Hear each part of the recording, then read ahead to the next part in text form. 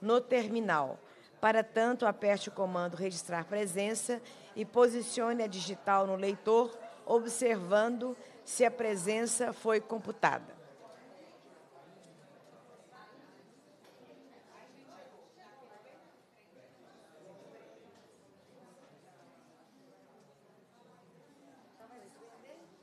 Pega o nome de autoridade para mim. De quem está aqui? Quem é presidente da Câmara de. É, pede para olhar isso para mim. Tá. Os que estão aqui já estão aqui. Tá, esses verde?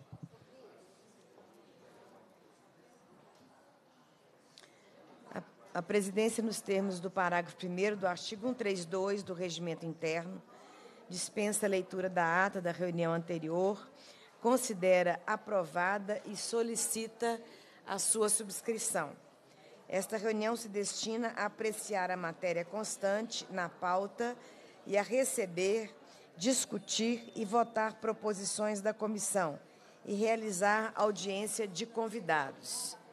A presidência informa o recebimento da seguinte correspondência: ofício da senhora Viviane Souza Teixeira, gestora municipal de assistência social de Felizlândia, prestando informações relativas ao requerimento número 838/2019, publicada no Diário Legislativo de 11 de 7 de 2019.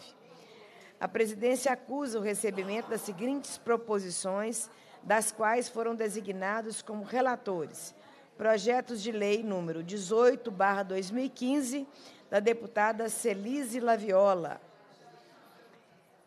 é, e 1357/2015 deputada Andréia. Esta presidência avoca para si a relatoria das visitas ocorridas em 15 e 18 do 7 a Secretaria de Estado de Justiça e Segurança Pública do Estado e a Delegacia de Mulheres do município de Santa Luzia, respectivamente. Passa-se a primeira fase da terceira parte da reunião, que compreende a audiência de convidados. Esta audiência tem a finalidade de debater o feminicídio, tendo em vista os dados do Atlas de Violência 2019 do IPEA a presidência convida a tomar assento à mesa os seguintes convidados e convidadas. A senhora Crislaine de Andrade, de Andrade Matias, pesquisadora do Instituto de Pesquisa Econômica Aplicada, IPEA. A senhora Ingrid Estevan, delegada de polícia do Núcleo Especializado de Investigação de crimes de feminicídio.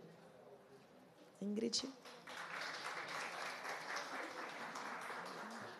Tão nova, senhora. Falei.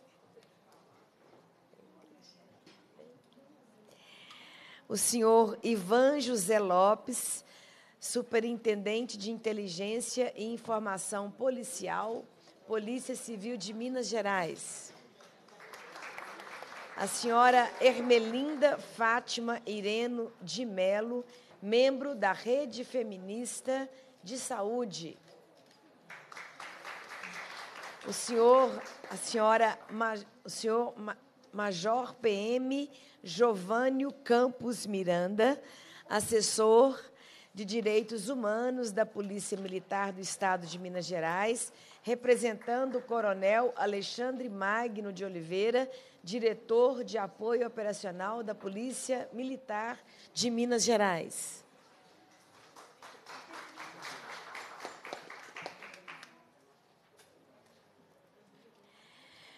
A senhora Maria Dirlene Trindade Marques, economista e coordenadora da Rede Feminista de Saúde de Seção Minas Gerais.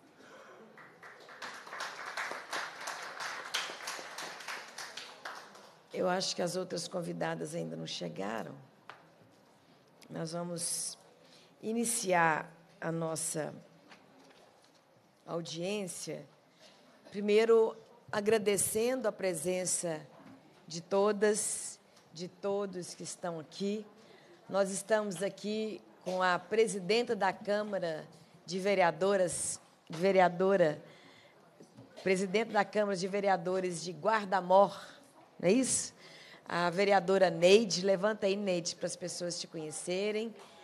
Ela vai participar da nossa audiência pública. Muito obrigada pela presença. Também é, do vereador Charles, levanta aí, está acompanhando a Neide, lá de Guardamor. Obrigado pela presença. E na pessoa da Neide, eu cumprimento todas que estão aqui, na pessoa do Charles, Charles, vereador, todos que estão aqui. Eu queria também agradecer a presença dos nossos convidados, das nossas convidadas. É, nós estamos fazendo essa audiência pública um dia após as comemorações de 13 anos da Lei Maria da Penha. Foi ontem, né?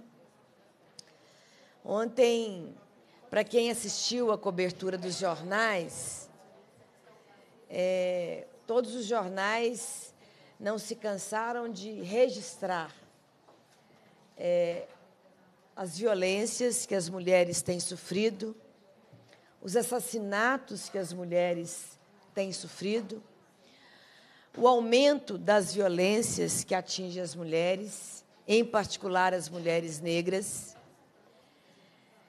É, os jornais também ressaltaram a grande conquista para as mulheres da Lei Maria da Penha, que é uma lei que não apenas tem o reconhecimento das mulheres do Brasil, de que é uma lei muito importante, completa, que protege as mulheres, que ampara as mulheres, que dá assistência às mulheres. Então, nós temos o reconhecimento não só do Brasil, mas um reconhecimento é, de vários países da importância dessa grande conquista. Mas eu, particularmente, é, com essa, essa vivência que eu estou tendo na Comissão de Mulheres e agora visitando as várias delegacias de mulheres, quero aqui cumprimentar a doutora Thais Laís, delegada de mulheres lá de Contagem. Assim como eu visitei a delegacia de mulheres de Contagem, visitei a de Betim, visitei de Ribeirão das Neves, visitei é, o núcleo é, de, de, feminicídio aqui em Belo Horizonte. É, visitei também a vara de justiça criada para, em contagem, criada recentemente para julgar os casos de violência em contagem. É, eu comecei a pensar, é, de, depois de tantos avanços que a gente teve em nosso país, em particular com a Lei Maria da Penha, por que, que é que tantas mulheres continuam sendo violentadas? Por que, que é que tantas mulheres estão sendo assassinadas? E comecei, depois dessas visitas, a, a pensar que talvez a lei existe, mas ela está dentro da gaveta. Porque a mulher que sofre de violência, eu quero aqui cumprimentar os alunos e alunas do Colégio Glória Andrade. É isso mesmo? Daqui de Belo Horizonte? De Contagem, Glória Andrade. Sejam bem-vindos, sejam bem-vindas. Vocês estão na Comissão de Mulheres da Assembleia Legislativa. Eu sou de Contagem e eu sou presidenta da Comissão de Mulheres. Tá bem? Então, visitando, eu, eu fiquei pensando o seguinte: eu, há pouco tempo eu tive uma conversa com a Ermelinda e eu vi assim uma certa apreensão da Ermelinda que tem essa pauta. Tanto tempo ela estuda essa pauta, e eu fiquei pensando, Ermelinda, que muitas das violências que estão ocorrendo é, talvez porque também a lei não tem sido cumprida, seja porque a gente tem implementado pouquíssimas políticas de prevenção, seja também porque a gente não tem conseguido proteger as nossas mulheres. E eu falo isso porque as mulheres, quando sofrem as violências, elas vão, obviamente, em muitos lugares, mas quando elas vão a uma delegacia de mulheres, e eu pude ver isso, né? É, na delegacia de plantão, aqui em Belo Horizonte, lá eu me deparei com situações onde mulheres tinham ido não só uma única vez para apresentar a sua denúncia, mas tinham ido duas, três vezes. Ouvi lá o relato de que muitas tinham desistido de ir. Por quê?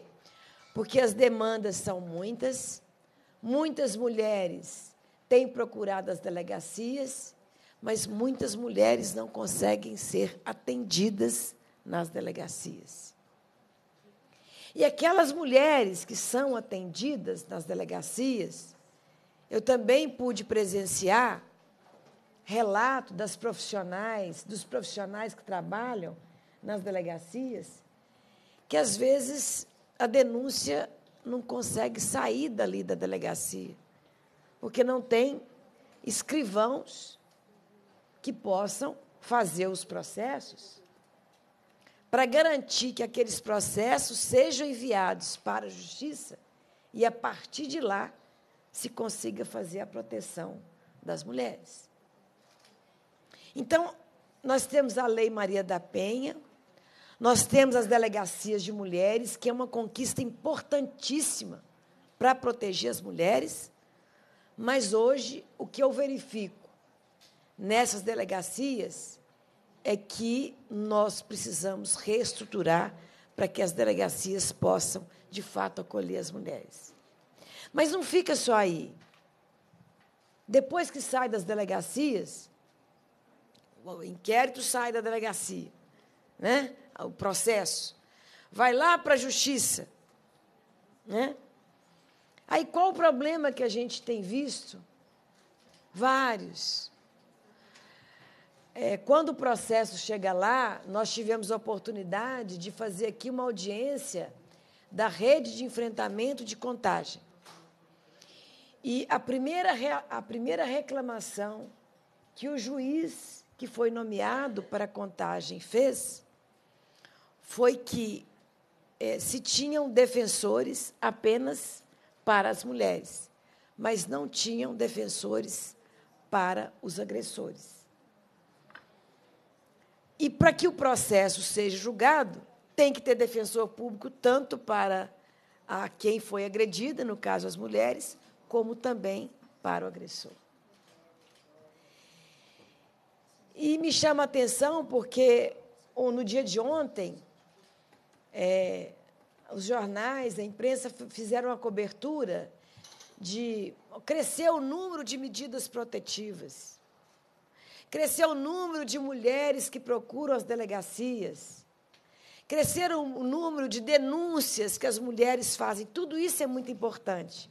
Porque antes a mulher tinha violência, né? era considerado como natural, nem chegava a denunciar. Então, hoje, com toda essa movimentação, com as conquistas que a gente está tendo, né?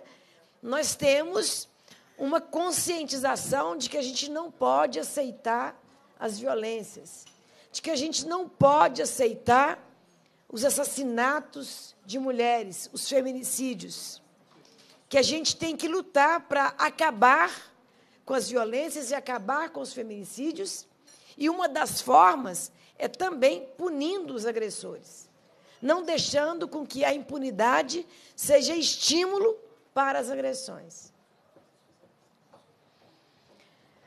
Mas a pergunta que não quer calar hoje, e aí eu coloco até para o debate, é que, além do aumento das denúncias, aumento, além do aumento das medidas protetivas, eu quero saber quantos julgamentos ocorreram. de casos de violência. Eu quero saber. Se aumentou a violência em mais de 30%, quantos foram julgados pelos tribunais? Quantos foram presos por assassinatos de mulheres? Ou estão presos? Quantos foram presos porque violentaram mulheres? Não é que a gente tem que falar assim, olha, somente o fato de punir, a gente acaba com a violência. Não acho isso, não. Nós temos que fazer um trabalho de conscientização, de desconstrução do machismo, né? nas escolas, para que os meninos, desde cedo, não achem que eles são dono do corpo das meninas, dono da vida das meninas. Nós temos que fazer esse trabalho de conscientização, de que as meninas de que as mulheres têm que ser donas das suas próprias vidas. Nós temos que fazer esse trabalho de prevenção. Mas, além disso, nós temos que ter mecanismos que, de fato, garantam a punição. E hoje, quando me perguntam, a lei é importante? É fundamental. A lei é muito importante, a Lei Maria da Penha ela é muito importante para garantir a vida das mulheres. Mas não basta uma lei dentro da gaveta. A lei tem que ser cumprida. Então, hoje, eu abro essa audiência refletindo aqui um pouco da minha indignação.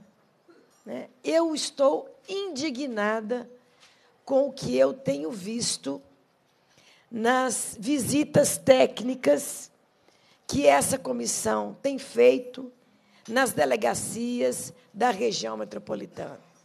As próximas que nós faremos serão na cidade de, será na cidade de Ibirité, Vespasiano, Sabará e Nova Lima. Só faltam quatro para a gente fazer.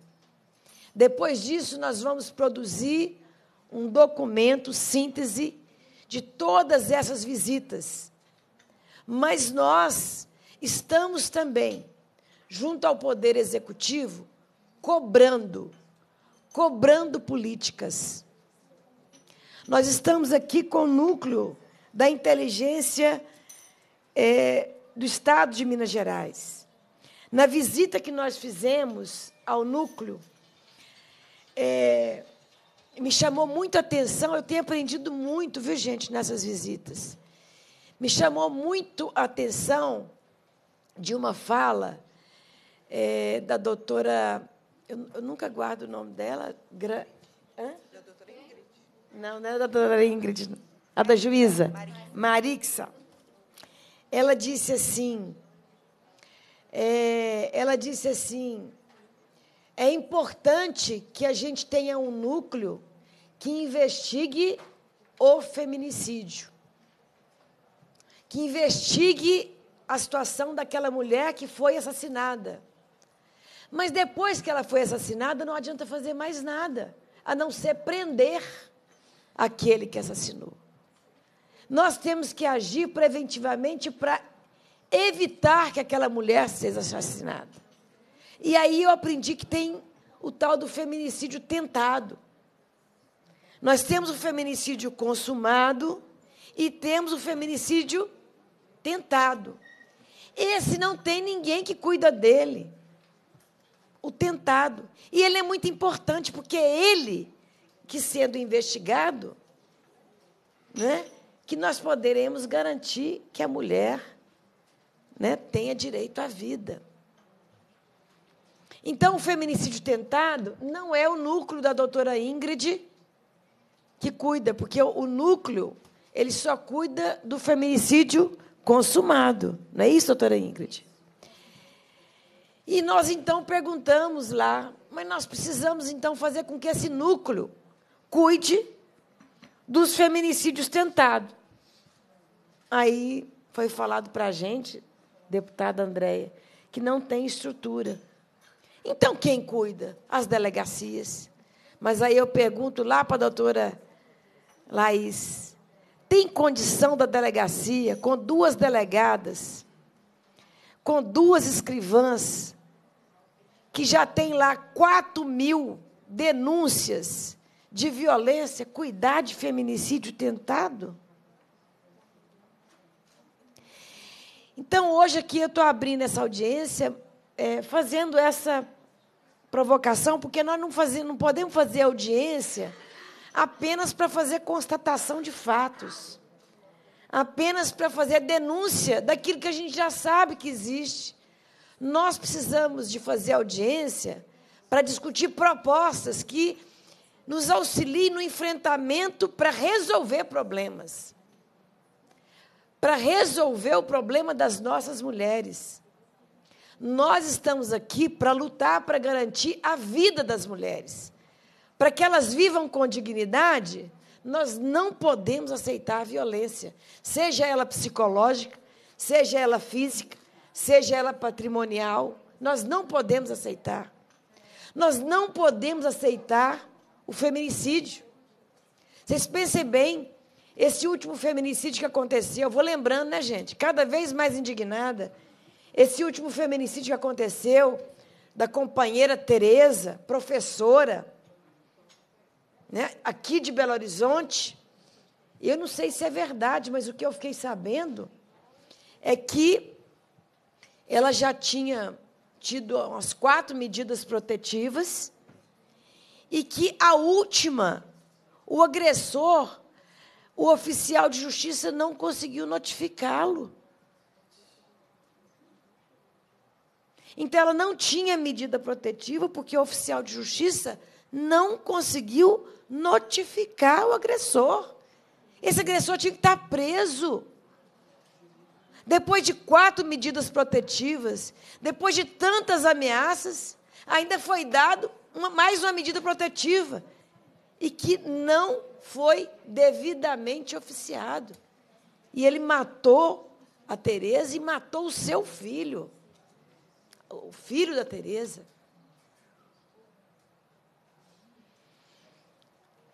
É, então eu abro essa é, audiência, é claro que carregada um pouco por essa por essa essa intervenção que nós temos feito este ano, é, que foi inclusive uma decisão, deputada Andréia, do nosso 8 de março, que nós iríamos priorizar a luta no combate às violências. E a nossa luta não pode ser só a denúncia. A nossa luta não pode ser apenas fazer audiência pública. A nossa luta tem que ser para exigir do governo do Estado, do governo federal, políticas que, de fato, e políticas, né, gente, significa orçamento, significa recurso, porque não tem jeito de implementar política pública se não tiver recurso. Então, para ter mais delegadas, para ter mais escrivãs, para ter carro, né? para ter pessoal, precisa de recurso. Nós precisamos de recursos de políticas públicas para garantir a vida das mulheres.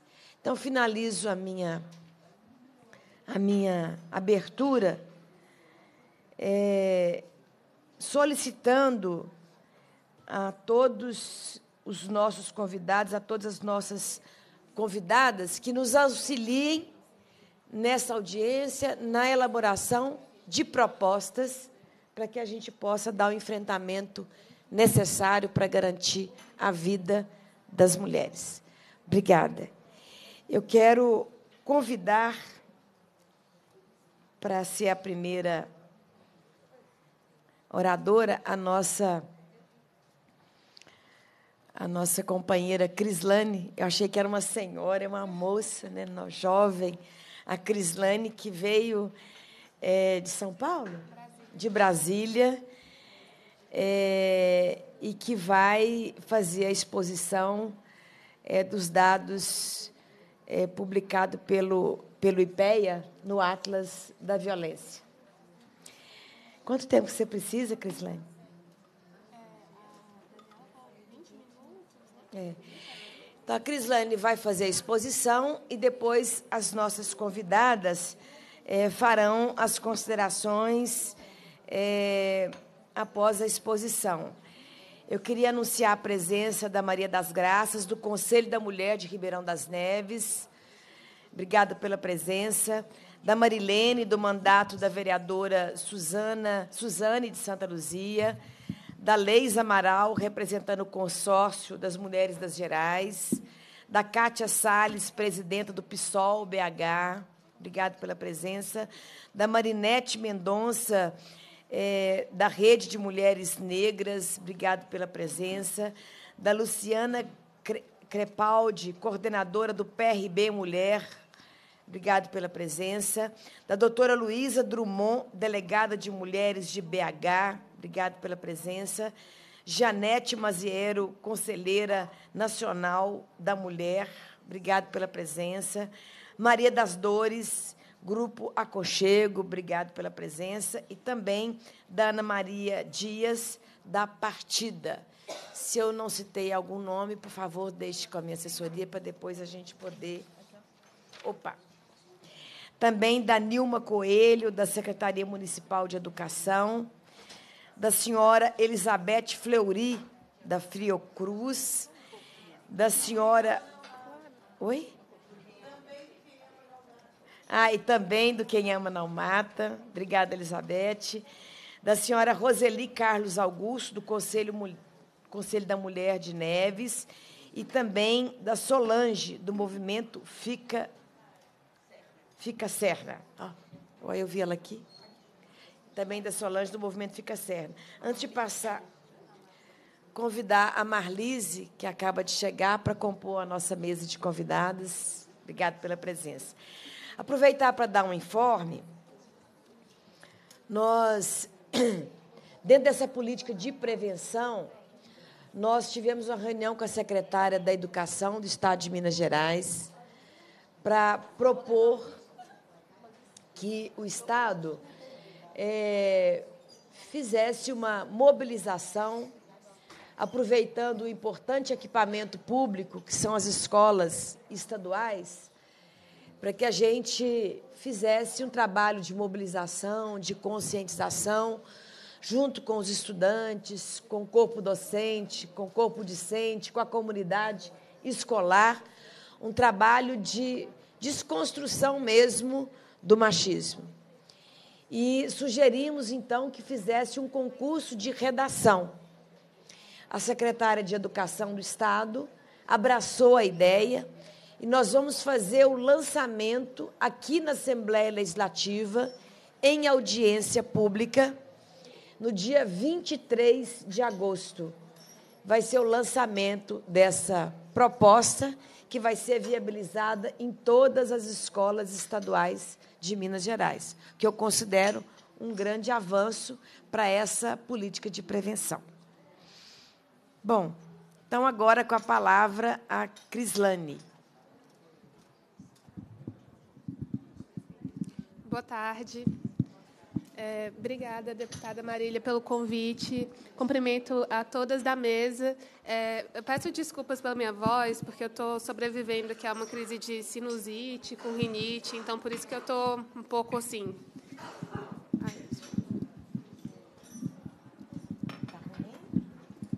Acho que dá. Estão tá me ouvindo? Tá, né?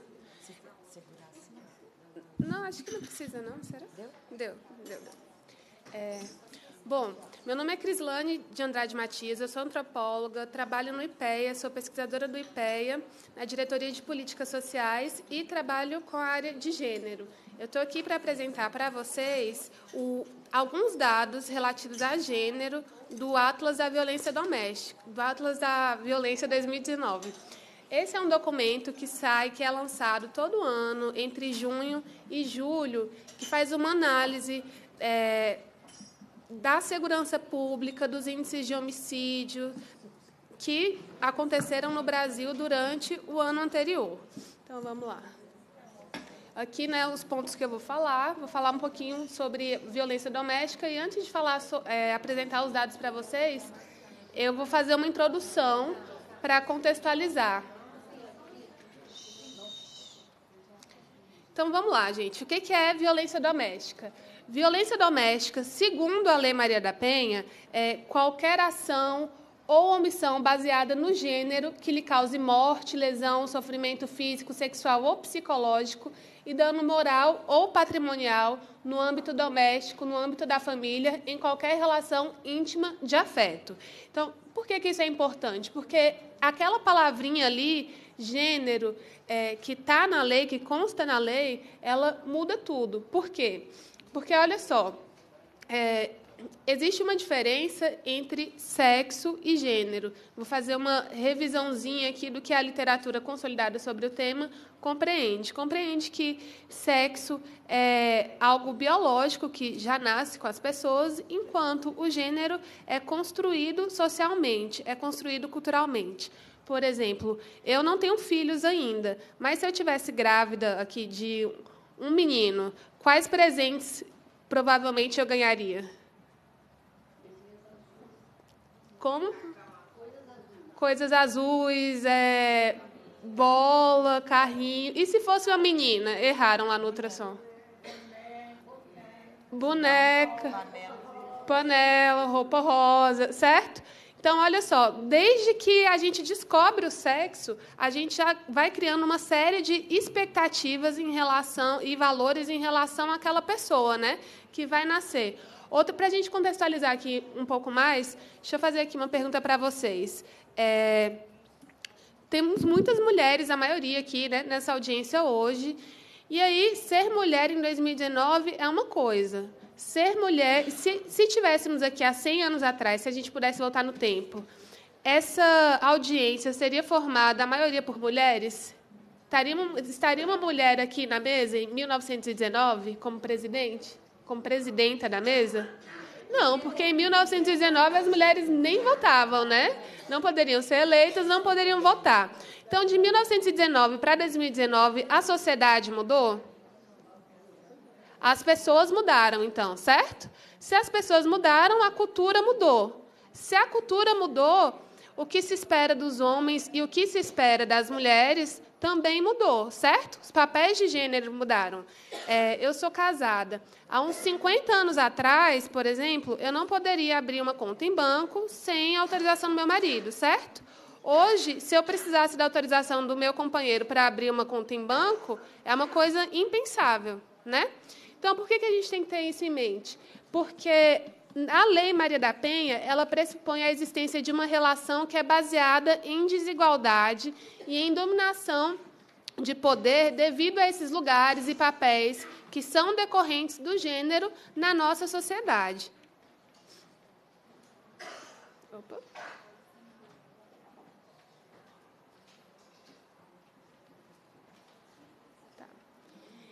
E aí tem dois marcos legais muito importantes que a gente precisa falar sobre. Né? O primeiro é a Lei Maria da Penha, que é a Lei 11.340, que ontem completou 13 anos de criação, e a outra é a Lei do Feminicídio, que é uma lei de 2015.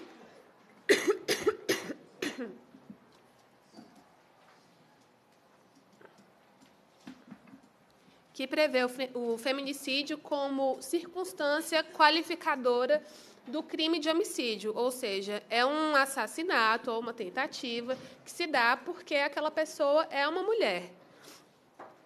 Opa, certo? Aqui alguns pontos importantes sobre a Lei Maria da Penha. Primeiro, é que é um conceito, na lei, é, a lei abrange alguns tipos, alguns tipos de violência, né? tipos diferentes de violência. Então, ela entende que violência doméstica e familiar não é só a violência física, é a violência física, é a violência psicológica, é a violência sexual, é a violência patrimonial e é a violência moral também. Então, olha só, a violência psicológica é, são danos que podem causar diminuição da autoestima, dano emocional, que possa implicar é, em constrangimento, humilhação, manipulação, a violência sexual. É, é, obrigar a, a mulher a manter uma relação sexual não desejada, forçar o matrimônio, forçar a gravidez, ao aborto ou à prostituição, a violência patrimonial, né, que configura retenção, subtração destruição parcial dos objetos ou instrumentos de trabalho, ou documentos pessoais, ou valores, e a violência moral, que é qualquer conduta que configure calúnia, difamação ou injúria. Então, a Lei Maria da Penha ela vai definir como violência doméstica esses cinco tipos de violência. Então, isso é importante porque até então se considerava que violência doméstica era violência física que deixava marcas, né? Mas violência doméstica não é só isso. E aí, a gente precisa pensar também que a violência doméstica ela tem como consequência a perpetuação da violência em sociedade. Vou falar um pouquinho mais para frente sobre isso. E quais que foram essas inovações da Lei Maria da Penha? Primeiro foi o ganho simbólico. O que é um ganho simbólico? É, para explicar, eu vou dar um exemplo. Teve um caso que aconteceu aqui em Belo Horizonte, no início da década de 70, que ficou muito famoso na época, que foi o assassinato da socialite Jo Souza Lima. Ela foi assassinada pelo companheiro enquanto ela estava dormindo na casa em que eles moravam. E aí o que, que acontece? A defesa do ex-marido, né, apresentou a tese de legítima defesa da honra e o caso foi levado a júri e o assassino, confesso, foi absolvido com apenas um voto contrário. Por quê? Porque nessa época era correntemente aceito que o que acontece em casa fique em casa, que a vida doméstica e os acontecimentos pertencentes ao âmbito privado deveriam ser separados da vida pública. É aquele, é, era aquele famoso ditado, né? Em briga de marido e mulher, ninguém mete a colher. É, ai,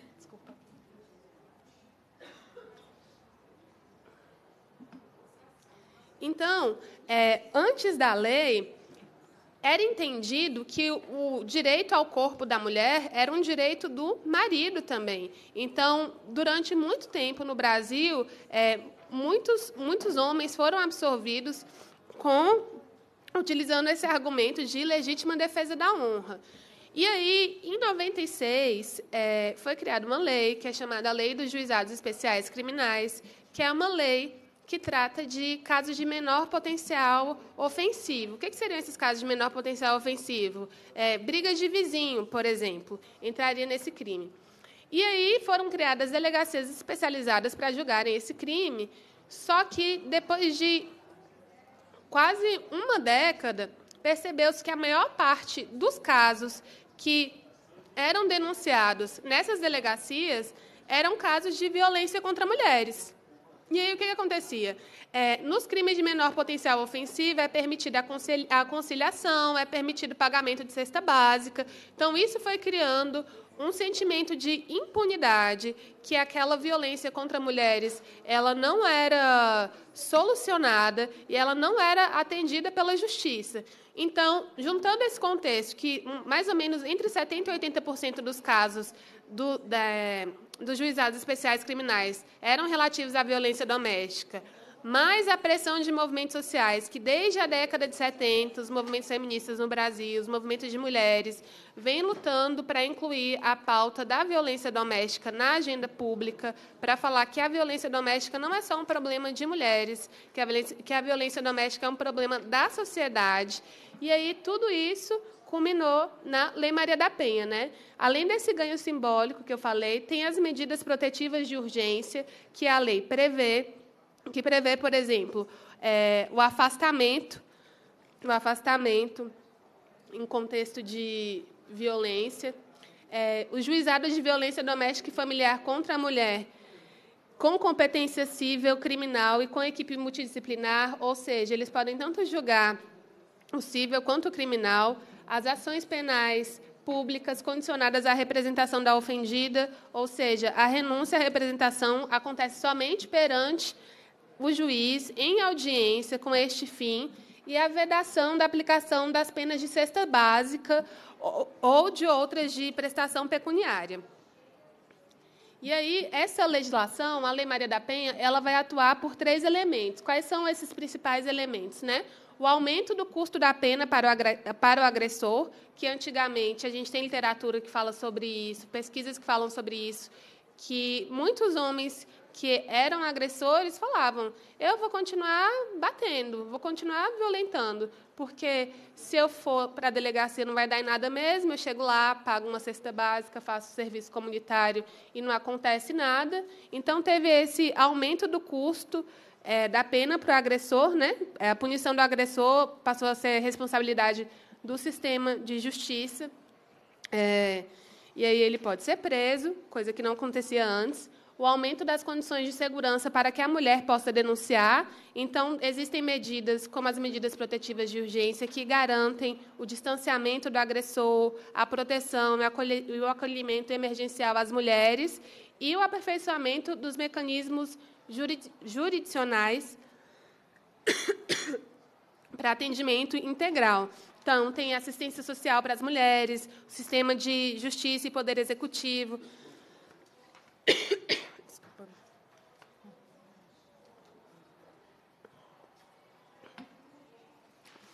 Precisam ter programas para rece receber essas mulheres.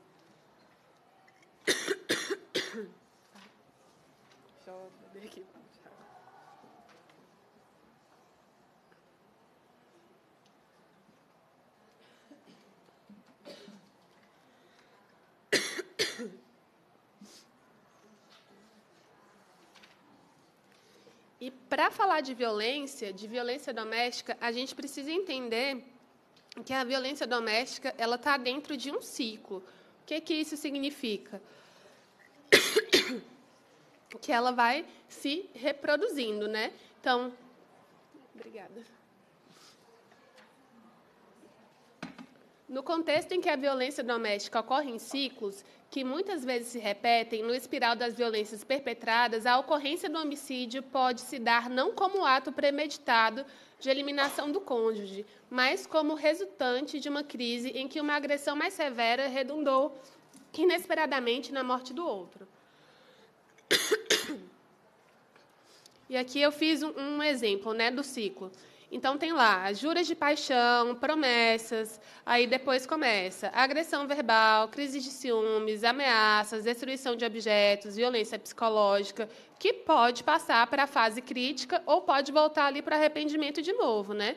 A fase crítica que é espancamento, estupro, homicídio. Então é um ciclo. Outra coisa importante para a gente pensar sobre essa violência é que a gente aprende a ser violento, né? Violência se aprende. Então, existem dados falando que crianças que vivem em ambientes em que há violência doméstica se tornam crianças mais agressivas é, tem baixo rendimento na escola. Então, tudo isso vai criando ainda mais problemas. Não são apenas problemas domésticos, né? são problemas sociais. E aqui é, eu trouxe outra imagem, né? a violência doméstica. Para as mulheres, é, vão trazer, vai trazer problema de saúde, problema mental, físico, laboral, né, no relacionamento. E aí a vítima termina sendo toda a sociedade. E é um tipo de violência que vai sobrecarregar todo o sistema, porque ela vai procurar o sistema de saúde, ela vai procurar o CRAS, o CREA, se tiver na cidade. É, os filhos, se existirem, provavelmente vão ter um rendimento mais baixo na escola. E aí, ali. Continuando. É, as crianças que crescem num lar violento aprendem a linguagem da violência e a violência doméstica reproduz e alimenta um aprendizado que geralmente não fica restrito às paredes do lar. Ou seja, essa violência ela é continuada, né? ela é perpetuada.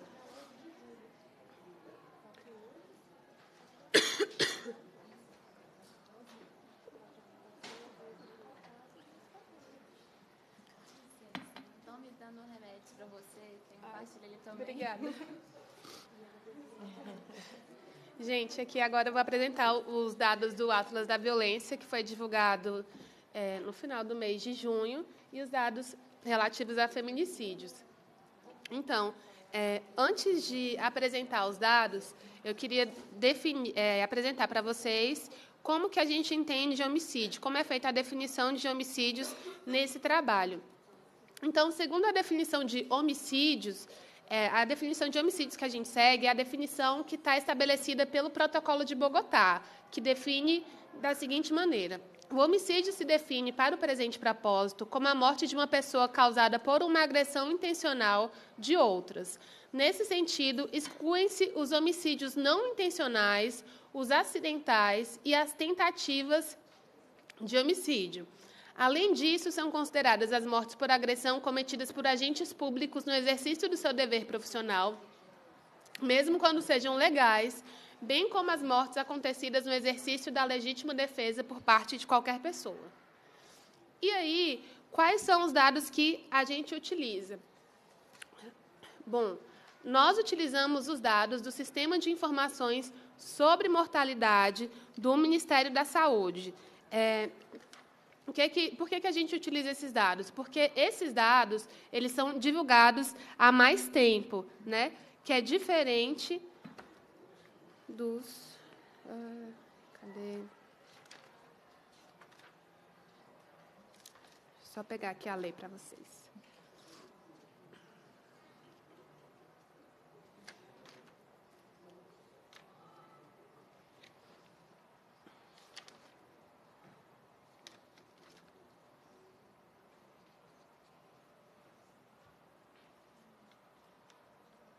Peraí.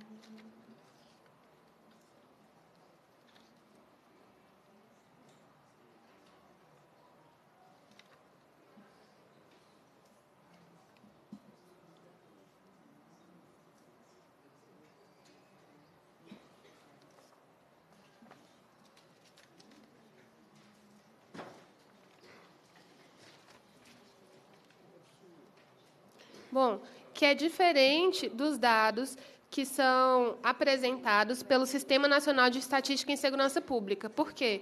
Porque a lei que cria esse sistema é uma lei de mais recente, né? uma lei de 2012. E esse sistema só passou a publicar sistematicamente as informações muito recentemente, diferente do sistema de saúde. Então, para fins, é, por isso, e para fins de comparação internacional, a gente utiliza o sistema de informações sobre mortalidade, que é produzido pelo Ministério da Saúde. E aí, no conceito de homicídios, estão agrupadas as categorias, o CID, né? X89, Y09 e Y35 da CID-10. Ou seja, óbitos causados por agressão mais intervenção legal. E aí, antes de apresentar os dados, é importante falar o seguinte: esses dados eles já estão defasados, embora sejam os mais recentes. Por quê? Porque são os dados de 2017. Em 2018, o Ministério da Saúde vai divulgando os dados do Sistema de Informação sobre Mortalidade e o Atlas da Violência só foi publicado esse ano. Então, ano passado, tivemos acesso a esses dados que são referentes ao ano de 2017. Então, os dados que estamos tratando aqui são referentes ao ano de 2017.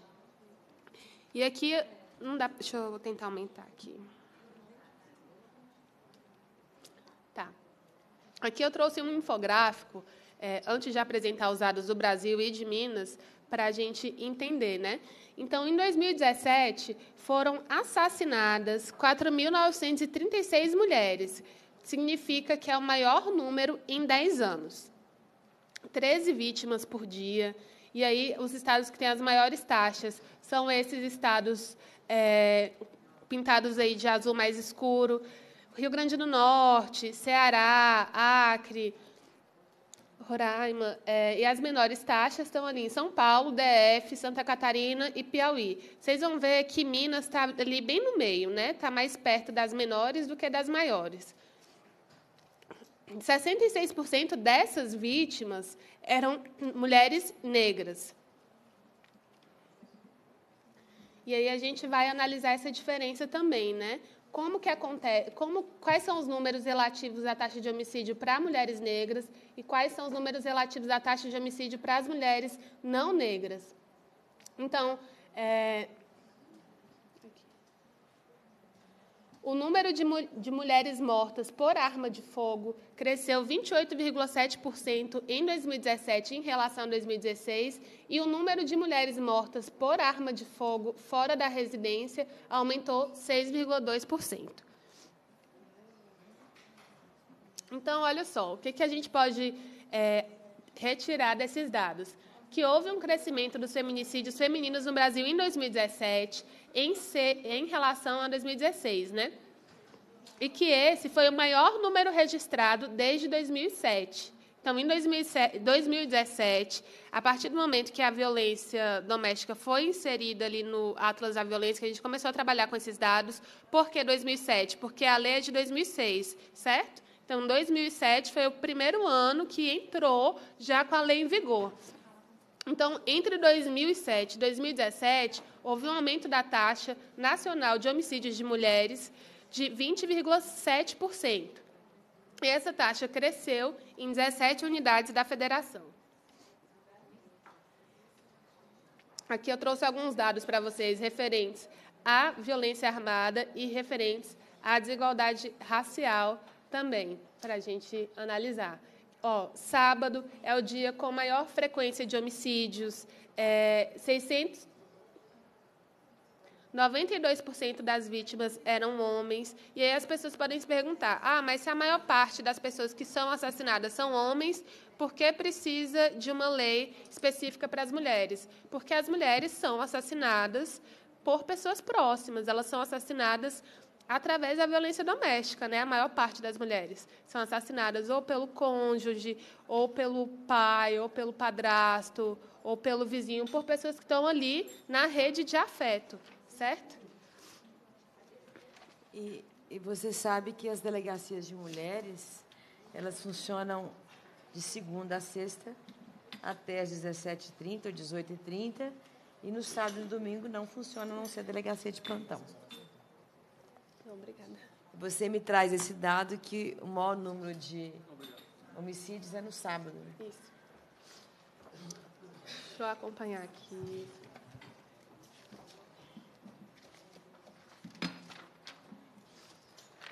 Então, aqui, olha só, Brasil. Eu trouxe aqui a taxa, esse é um gráfico né, que mostra a taxa de homicídios por 100 mil habitantes nas unidades da federação.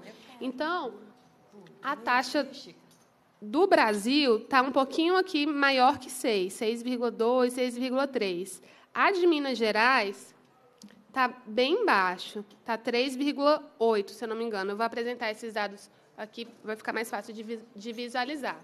Aqui, a taxa de homicídios de mulheres por 100 mil habitantes. Para ficar mais fácil, eu peguei os de Minas, que é o que interessa a gente aqui, e em comparação aos dados nacionais, porque se eu colocasse todos da unidade, de todas as unidades da federação, ia ficar muito difícil de visualizar e de localizar.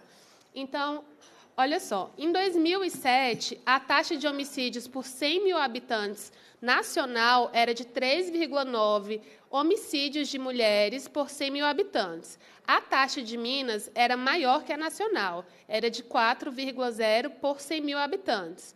Em 2017, isso se inverteu. A taxa nacional de homicídios de mulheres por 100 mil habitantes é de 4,7, enquanto a taxa de Minas Gerais é de 3,7 é, homicídios de mulheres por 100 mil habitantes. E aqui tem as variações, né? Que aqui em Minas, de 2007 a 2017, comparando esse, esse, esses 10 anos aí, caiu 9,3%. Se a gente for comparar só de 2012 a 2017, caiu 17%, porque em 2012 teve uma alta na taxa de homicídios em Minas, 2011 e 2012. E se a gente for comparar em 2016 e 2017, houve uma alta de 2,9%, enquanto a nacional cresceu 5,4%. Aí aqui, a taxa de homicídio de mulheres negras por 100 mil habitantes. Como é que a gente faz essa taxa? Quem são consideradas mulheres negras? A gente, nós pegamos a definição do IBGE, né? Então, negras são as mulheres que se consideram é, pretas ou pardas. Isso. É a soma dos pretos e dos pardos. Então, a taxa de homicídios por 100 mil habitantes, veja só como cresce. Nacional, em 2007, era de 4,3%, em Minas Gerais, era de 4,7% a cada 100 mil habitantes. Em 2017, a taxa nacional são 5,6 homicídios de mulheres negras por 100 mil habitantes, e a taxa de Minas Gerais é de 4,1 homicídios de mulheres negras por 100 mil habitantes. Então, enquanto a taxa de mulheres não negras, é, vocês vão ver agora, caiu, a taxa de assassinato de mulheres, de homicídios de mulheres negras, aumentou. Então, a gente tem uma diferença aí, que é muito importante para a gente analisar esses dados.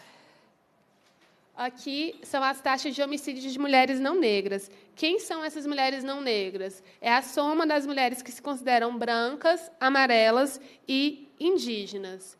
Então, tá. Taxa de homicídios por 100 mil habitantes nacional em 2017, em 2007, era de 3%.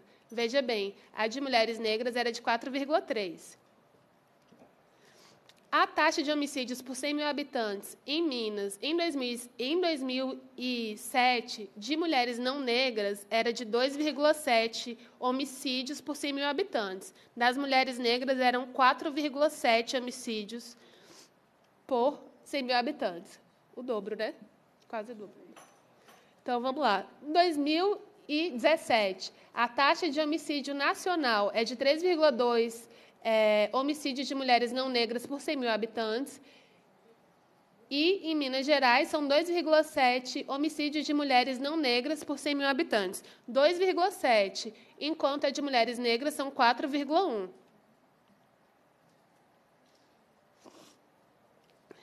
E aí, eu trouxe um gráfico para a gente analisar essa evolução né, da taxa de homicídios femininos no Brasil por raça. O que, que ele está mostrando para a gente?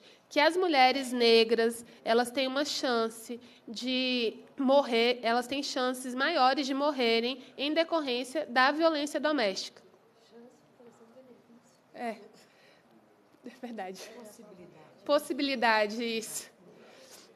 Correm o risco, né? Melhor assim. E aqui as mulheres. E aí, enquanto o índice relativo às mulheres negras aumentou, o índice relativo às mulheres não negras estabilizou ou caiu.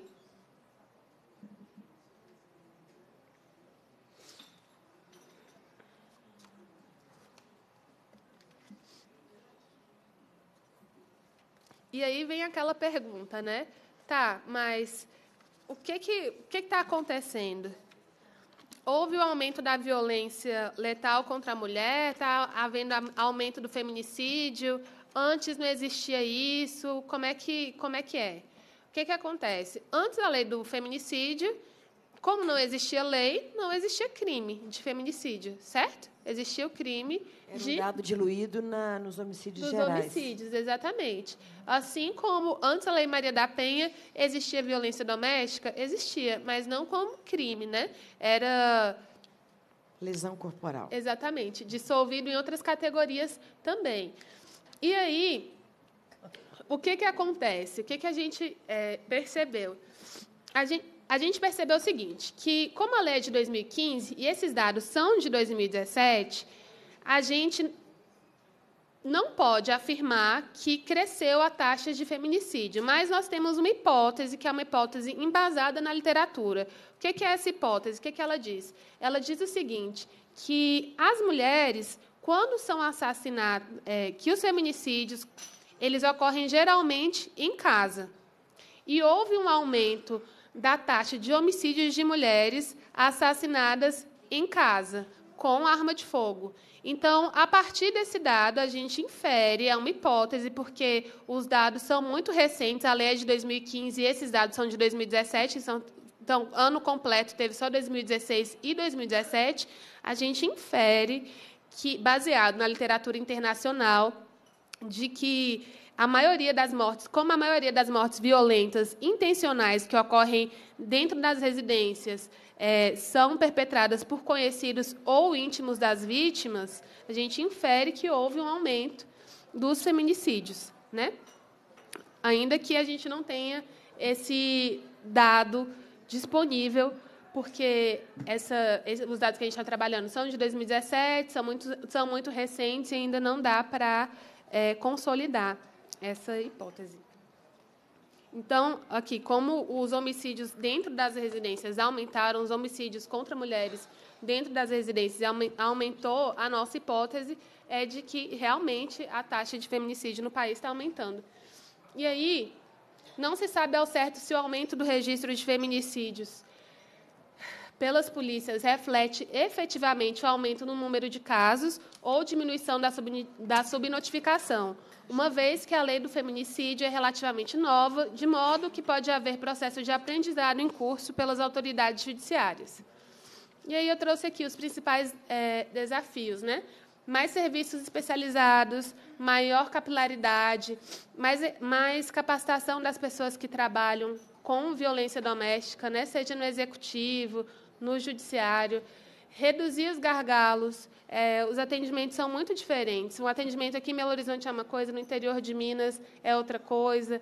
Um atendimento mais humanizado, mais integral, mais rápido.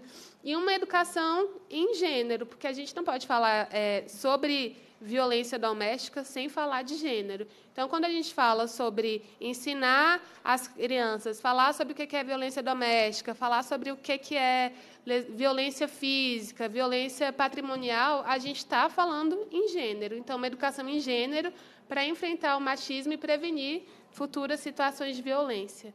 É isso. Obrigada, gente. Desculpa aí pela voz, pelas tosses. Obrigada, Crislaine. Eu quero convidar o senhor Ivan José Lopes, superintendente da, de inteligência e informações policiais da Polícia Civil.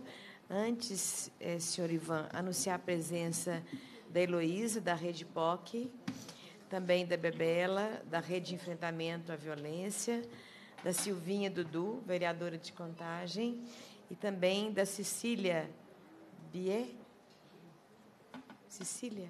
Bia? Ah, oh, Cecília. Obrigada pela presença. Com a palavra, então, o senhor Ivan.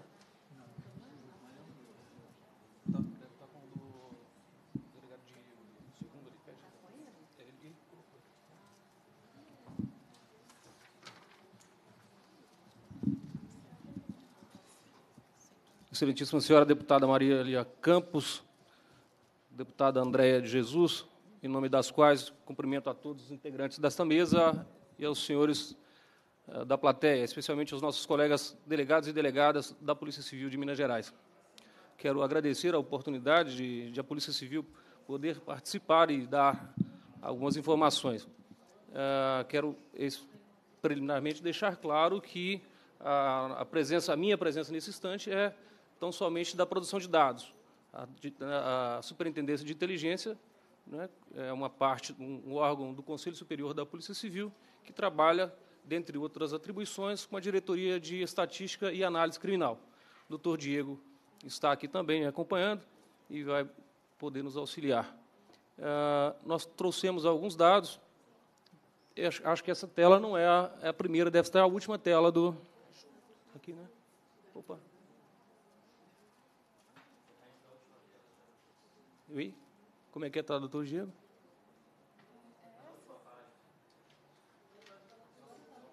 Alguém me auxilia? É, é aquele lá, só que na. Sim, só que está na, na, na. Aquela é a última tela. Para a primeira. Não é essa tela? Não.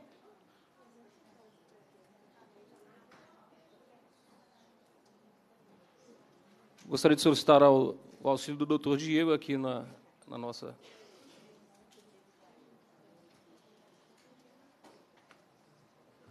Bom, de forma que eh, nós trouxemos alguns dados, eh, podemos já adiantar que os números da Polícia Civil demonstram uma, uma evolução positiva, com mais, um maior número de indiciamentos, eh, que todos os casos de, de feminicídio têm inquérito instaurado, todos 97% dos casos de feminicídio tentado tem já inquérito instaurado, e nós vamos mostrar que, eh, para os consumados, 67% já tem autor indiciado, e para os tentados, 64% já tem autor indiciado. Esta é a última tela, alguém se puder me auxiliar. Ah, ok, ok. Então, A primeira, a primeira tela da primeira apresentação. Bom, nesse, esse é o levantamento que demonstra o número de violência doméstica. Aqui eu não estou falando de feminicídio, mas de, qualquer, de todos os tipos de violências que tem é, contra a mulher. E ali estão os departamentos ou as regiões integradas de segurança pública do Estado de Minas Gerais.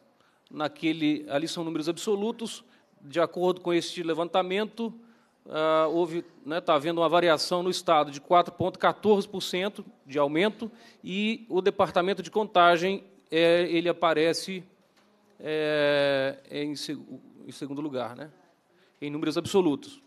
Eu posso afiançar também aos senhores que é, nós temos um outro levantamento que ficou concluído após essa apresentação e que ele é feito semestralmente, e aí a gente tem taxa. Então, aí, em relação ao número de. É, proporcional ao número de habitantes. De acordo com este levantamento, nós temos. Só um instante.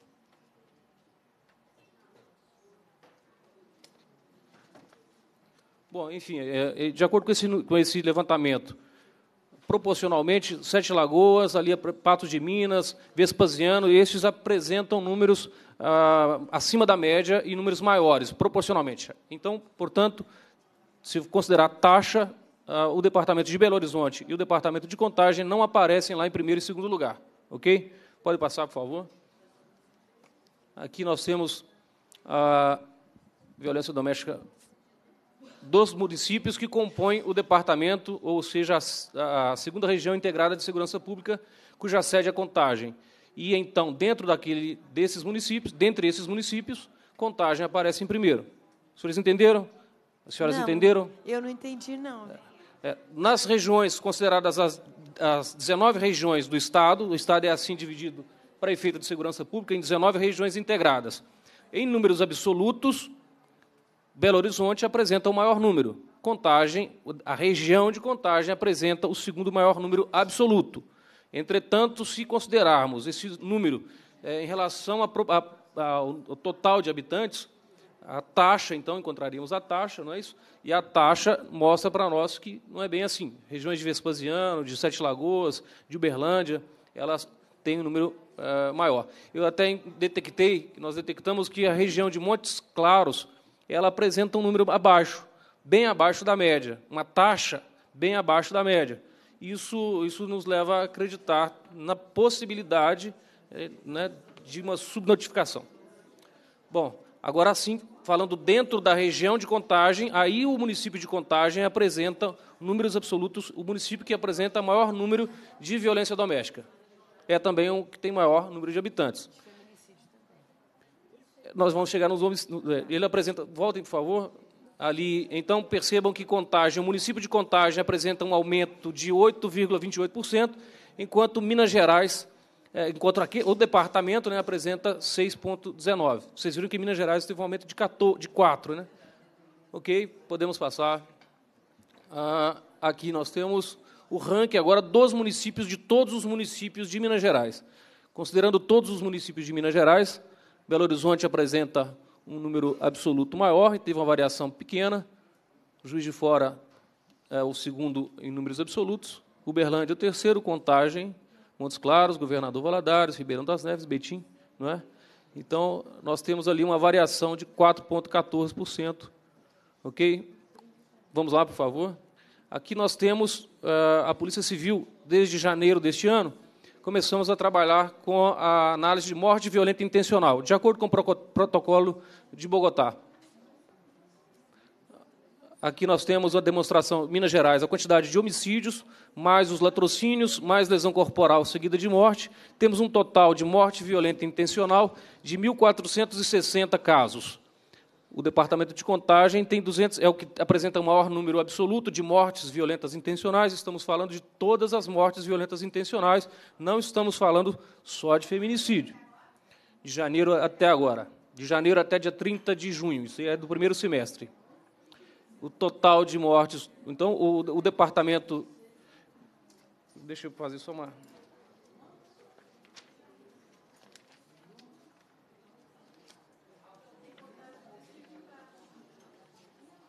Tem uma outra anotação.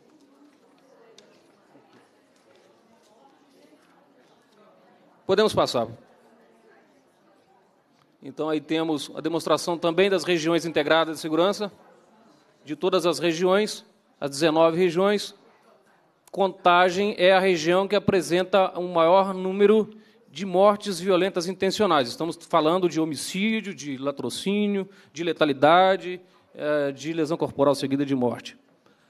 Belo Horizonte ficou com o segundo lugar, não é? Ali veio uh, Ipatinga em terceiro, enfim. Vamos lá.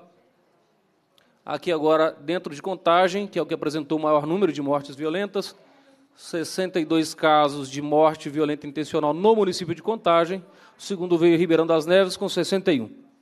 Ali temos, então, o total de morte violenta intencional desta, da região de Contagem, 249. Pode passar, por favor? Esses números de 2019, nós, a Polícia Civil está aferindo, é, fazendo um comparativo, uma análise de caso a caso em relação ao REDS, o fato noticiado e a evolução do fato, de forma que é, é, pode haver uma pequena divergência em relação ao número, se for apurado pelo número de REDs. RED é o Registro de Evento de, de Defesa Social, ou o antigo boletim de ocorrência. Pode haver uma divergência, sim. Pode haver por quê? Pode ser que no momento do fato seja lesão corporal e a pessoa venha a falecer posteriormente. Pode ser que no momento do registro era tentativa, pode ser que a pessoa venha a morrer. Pode ser que um registro não falou em homicídio, foi um encontro de cadáver. E a investigação evolui para dizer que, que é morte violenta intencional. Então, esta é uma, um número muito preciso, muito preciso. E aí, por favor, deixa eu continuar naquela ali, né, demonstrando que Minas Gerais, então, o homicídio teve 1.417, teve uma redução de 11,49. Acreditamos que essa redução, portanto, seja maior. A, a, redução provavelmente é maior que 11 em Minas Gerais por causa da aferição mais precisa deste ano. O departamento de contagem, que é o que mais apresentou a região ali de contagem, repito, tá? não é a cidade de contagem, apresentou 247 casos de homicídio, mais dois latrocínios, e o contagem apresentou então 62. A redução de Minas é de 11%, a redução da região de Contagem, embora Contagem apareça como a região que teve o maior número absoluto de homicídio, de morte violenta intencional, ele ainda apresenta redução de 15%. E a cidade, o município de Contagem, apresentou redução de 30%, mais de 30%, em relação ao mesmo período do ano passado. Por favor. Nós temos ali, então, Minas Gerais, agora ali é homicídio, tá? É, nós temos do um total de 1.259 homens e 156 mulheres. Senhores, senhoras e senhores estão entendendo, né? Ali nós não estamos nesse, nessa tela falando de feminicídio, estamos ali falando de mortes em que mulheres foram vítimas em relação aos homens. Mulheres representa 11% do total de pessoas que morreram no primeiro semestre de 2019. Em relação à contagem, estamos tratando ali de contagem porque é aquele que apresentou o maior número, vocês se lembram. Então, em relação à contagem, 10%, 10,5% dos casos das mortes violentas são é, relativos a mulheres. E o que a gente tem de dado ali, só para simplificar, numa tela seguinte, está meio desconfortável aqui, eu tô, aqui acho que vai ficar melhor. Aqui. Desculpem, por favor, a minha timidez, falando aqui perto de tão, tão é, experientes oradores, eu fico até tá intimidado. Ótimo, já está professor já. Obrigado. Me perdoe, então, a, o nervosismo. Bom, mas esta, a, o que a gente... Eh, por favor, volte, mantenha na tela anterior. Ok. Então, a, nós temos ali no departamento de contagem, 10,5% das mortes são mulheres. Não é? é? no município de contagem, são 62 casos, sete são mulheres. Sete mulheres morreram no município de Contagem. E aí, o dado que eu tenho na tela seguinte, só para facilitar, memorizem naquela tela, por favor, ainda. Mortes.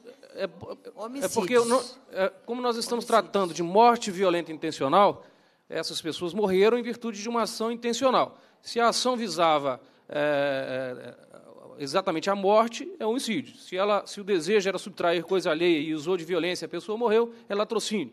Então, abrange, é mais abrangente do que. Né? Ainda não é caracterizado feminicídio, né? Não, nesse momento não. O que eu vou antecipar, nessa, ainda usando essa tela, é para dizer que, desse total ali, ó, de 156 mulheres que foram vítimas de violência intencional, que morreram vítimas de violência intencional, no primeiro semestre de 2019, 43% foi feminicídio. Nós vamos ver na tela seguinte. Aí está, vejam lá então, que Minas Gerais, o primeiro semestre de 2018 teve 149 casos, mulheres foram vítimas, morreram em virtude de violência intencional. Esse ano foram 156, portanto, um aumento de 4,70. Veja, entretanto, que é, o número de feminicídio, ou seja, dessas 156 mulheres que morreram este ano, 67 foram, em Minas Gerais, 67 foram, é, a, já até agora, a Polícia, a polícia Civil uh, diz que é feminicídio. Nós precisamos Doutor, fazer uma ressalva. Só com uma ressalva ali que Pra... 2018 é, o ano inteiro. Não, o mesmo 2019, período. janeiro a junho. Não, não, né? não, não, o mesmo período. É a comparação em relação ao mesmo período. Ah, ok. Em relação ao mesmo período do ano anterior. O primeiro semestre de 2019 em relação ao primeiro semestre de 2019. É, é, não, não, não foi isso. É, me desculpe. Eu, o que a Polícia Civil já pode dizer que é feminicídio. Isso não quer dizer que o a outro, no restante também não possa acontecer. É, vamos, vou tentar exemplificar. É, diante da notícia de um homicídio, a vítima é mulher. Nem sempre, imediatamente em face da notícia, pode-se afirmar que é feminicídio. E muitas vezes, só após a, a, o desenvolvimento da investigação ou a conclusão da investigação, é que se chega à conclusão que quem matou, se chega à identificação do autor e daí na provável motivação. O feminicídio que diferencia é a motivação. Então, é preciso diferenciar. Bom, senhores e senhoras vejam, portanto, que teve, em relação ao mesmo período, houve um aumento, em Minas Gerais, um aumento de 8% no número de feminicídio. Aqui é uma estratificação em relação à idade dessas, dessas dessas mulheres ali no departamento de contagem. Elas têm entre 18, né, dois são, são, são, seis casos de feminicídio, né, tem dois, dois ali que tem de 18 a 24, dois casos de 31 a 40.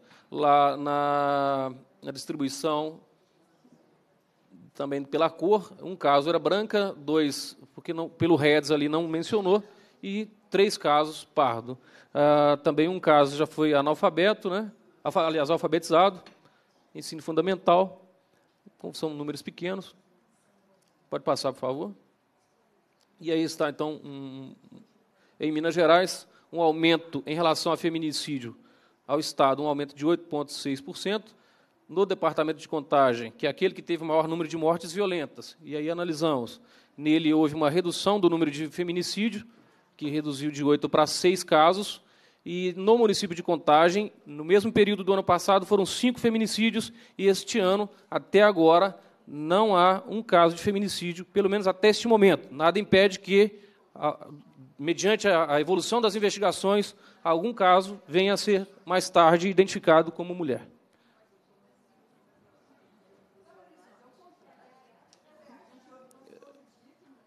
Minas a tentativa houve redução de 17%, no departamento houve redução de 9%, e contagem ali está errado, né? É de 5 para 0, tá? Aquele número 5 ali na segunda coluna está errado, eu peço desculpa. Pode passar na segunda, no segundo. E aí está. Passou. Perdão. Aí, por favor. Desses, do, todos os casos de feminicídios, já verificados em Minas Gerais neste ano, 100%, para sempre para todos, houve inquérito policial instaurado. O tempo médio de instauração entre a data do fato e a instauração, ou seja, a formalização do começo da investigação, foi de três dias. E, para esses casos, 67% já está, já tem autor indiciado.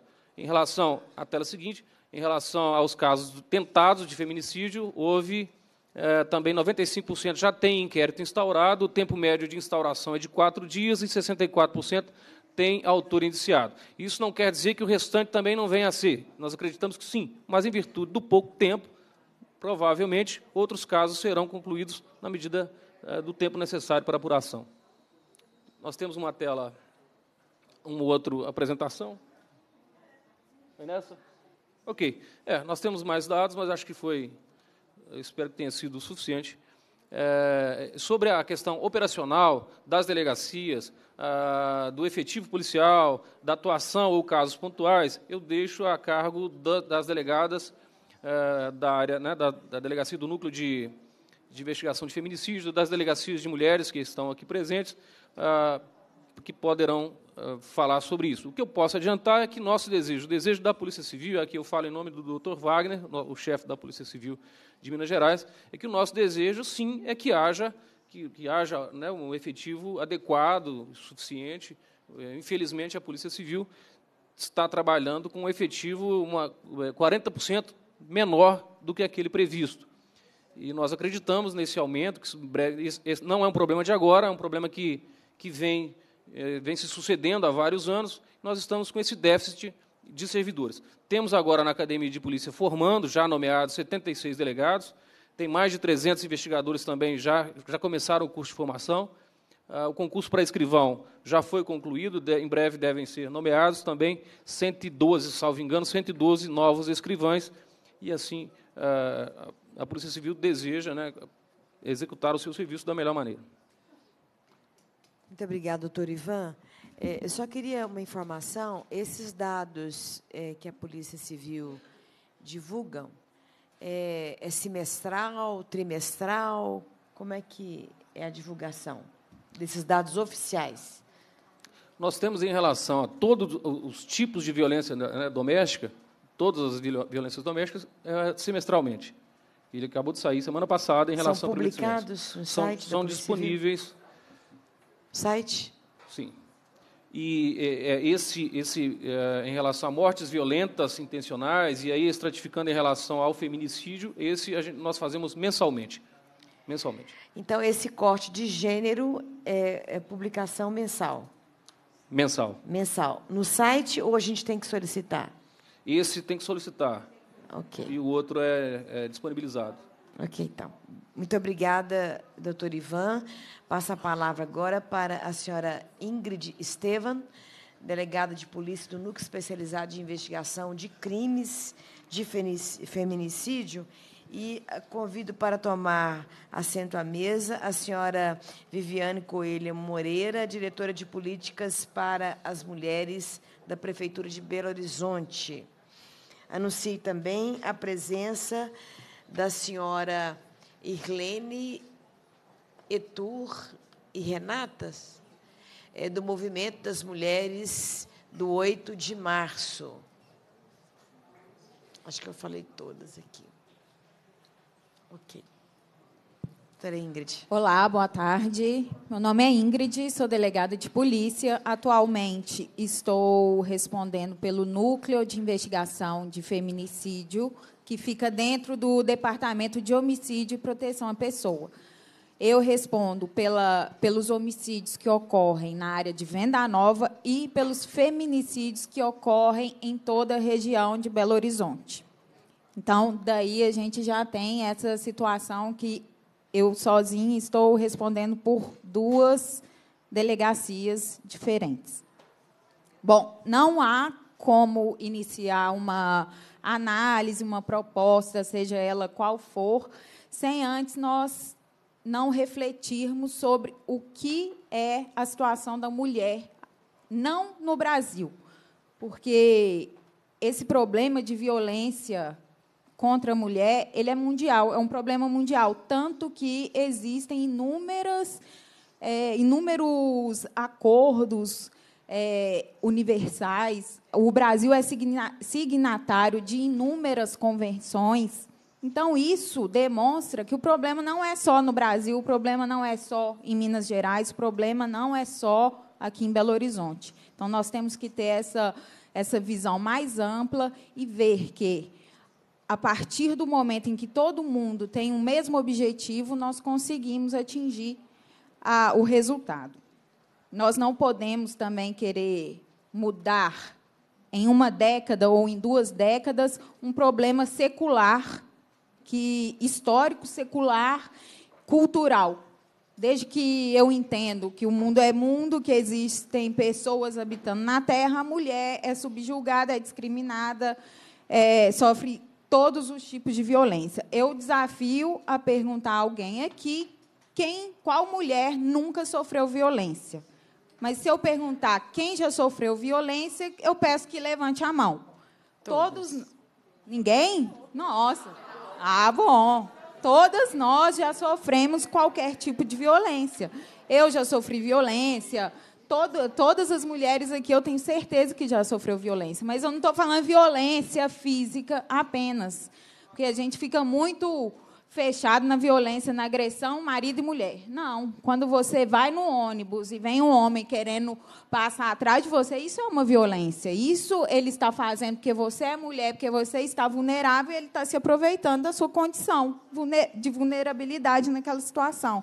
Você já sofreu alguma violência de alguém ir lá na, na sua rede social e te xingar porque você está com, esse, com essa roupa, com esse biquíni, que porque você se manifestou desse ou daquele jeito. Isso é um tipo de violência. Então, todo mundo, todas as mulheres já sofreram violência. Isso aí eu não tenho dúvida.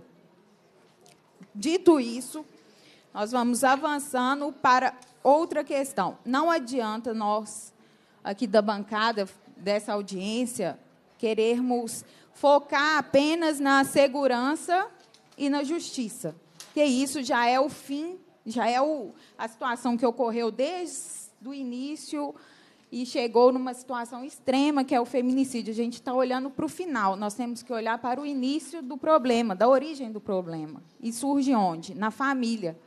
E a partir do momento que a família está desestruturada, a partir do momento que uma criança vê o pai batendo na mãe, vai para a escola, apresenta aquele comportamento agressivo. E não tem ninguém ali na escola para ter uma atenção específica nessa criança, para ver que a família dela pode estar sofrendo algum tipo de violência, a gente já começa a partir para outros setores que são responsáveis por isso também. Porque é muito, muito fácil, é muito nós apontarmos culpados para o aumento disso ou daquilo, é muito fácil. Mas nós temos que perceber de onde surge o problema e chamar a responsabilidade para a gente. A minha responsabilidade atualmente, como delegada do Núcleo Especializado de Feminicídio, é investigar, na maior, junto com a minha equipe, com a maior celeridade possível, a ocorrência do feminicídio, que foi o caso da Tereza que a senhora mencionou. Aliás, eu nem cumprimentei todo mundo. Não. Enfim, é, esse caso ocorreu, nós estávamos é, empenhados, tomamos conhecimento da ocorrência do desse crime. Quando a equipe foi para o local, ela tomou a equipe tomou conhecimento que tratava-se de, de um feminicídio. Então, a equipe do núcleo imediatamente foi para as ruas na tentativa de angariar elementos para prisão em flagrante do autor, elementos para futura condenação em menos de 24 horas, percebendo que nós não iríamos conseguir prendê-lo em flagrante, estávamos na delegacia, isso uma hora da manhã, eu representei pela prisão do autor para evitar qualquer tipo de não flagrante. Representei pela prisão, a prisão saiu, representamos, era uma hora da manhã, a prisão de manhã já estava na mão, e Cinco horas depois, o autor estava preso. Então, esse esforço por meio da Polícia Civil, por meio do núcleo, ele é visa sim é, combater e reprimir todo tipo de violência. Perdi o raciocínio aqui. É... Se a doutora me conceder uma parte, sim? eu daria uma informação. Enquanto a... Pode ser? Claro. É, enquanto, a, enquanto a colega recupera ali o raciocínio, é, eu agradeço a parte aqui para informar que nós, instaur, nós encaminhamos quase 8% mais de medidas protetivas de urgência. A Polícia Civil em Minas Gerais encaminhou 8% mais de medidas protetivas de urgência para as mulheres nesse período, no primeiro semestre de 2019, em relação ao mesmo período de 2018. Foram 20.573 medidas protetivas de urgência. Ano passado, todo foram 27.263. Nós também, se a, se a comissão nos permite, uma informação que, em relação ao homicídio de modo geral, nós instauramos, nós concluímos 5,14 procedimentos mais. Foram concluídos 5% mais de procedimentos investigatórios em relação a homicídios em Minas Gerais. E, indiciamento, 7% mais de indiciamento. Ou seja, concluiu mais procedimentos e com mais, é, com mais êxito, com mais eficiência. O indiciamento na cidade de Belo Horizonte é exatamente o mesmo é, e, e, no mesmo período. Sim, é dos outros aspectos, porque o objetivo da audiência é falar sobre o aumento, né, do feminicídio, mas nós precisamos olhar para trás antes de ocorrer o feminicídio propriamente dito. Só que isso não é uma questão somente da segurança pública, não é uma questão somente da justiça. Todos nós temos nossa parcela de responsabilidade. Eu, como delegada, fiz minha parte como delegada e como responsável pelo núcleo, faço minha parte com relação ao feminicídio, representando a Polícia Civil. Mas eu, como cidadã, como membro de uma sociedade, eu também tenho uma parcela de culpa. E cada um que está aqui também tem uma parcela, não de culpa, tem uma parcela de responsabilidade. Na medida em que você passa na rua e vê um homem gritando com uma mulher, vê um homem agredindo uma mulher, você como responsável, como parte dessa sociedade, você tem obrigação de intervir. Uma vez eu estava indo para a delegacia no meu carro, descaracterizado, nem nada, não estava caracterizado, eu estava no meu carro particular, e vi um homem segurando, um homem de dois metros de altura segurando uma mulher com toda a força que ele tinha, ela tentando desvencilhar e não conseguia. E eu indo de carro, porque aquilo me chamou a atenção. Eu só olhei para aquilo que eu vi muitas pessoas ao redor passando e olhando. E ninguém fez nada. Deu tempo de eu ir com meu carro, estacionar na garagem, voltar correndo, chamar o pessoal que trabalha comigo e ir lá. E o homem ainda continuava nessa situação. E todo mundo que passou naquele local, ninguém, ninguém fez nada. Não teve ninguém que parou e fez alguma coisa, fez alguma intervenção. O que eu estou querendo dizer é ao final, cobrar da segurança pública e cobrar da justiça, sim, nós temos que fazer, temos que fazer nosso papel e cumprir.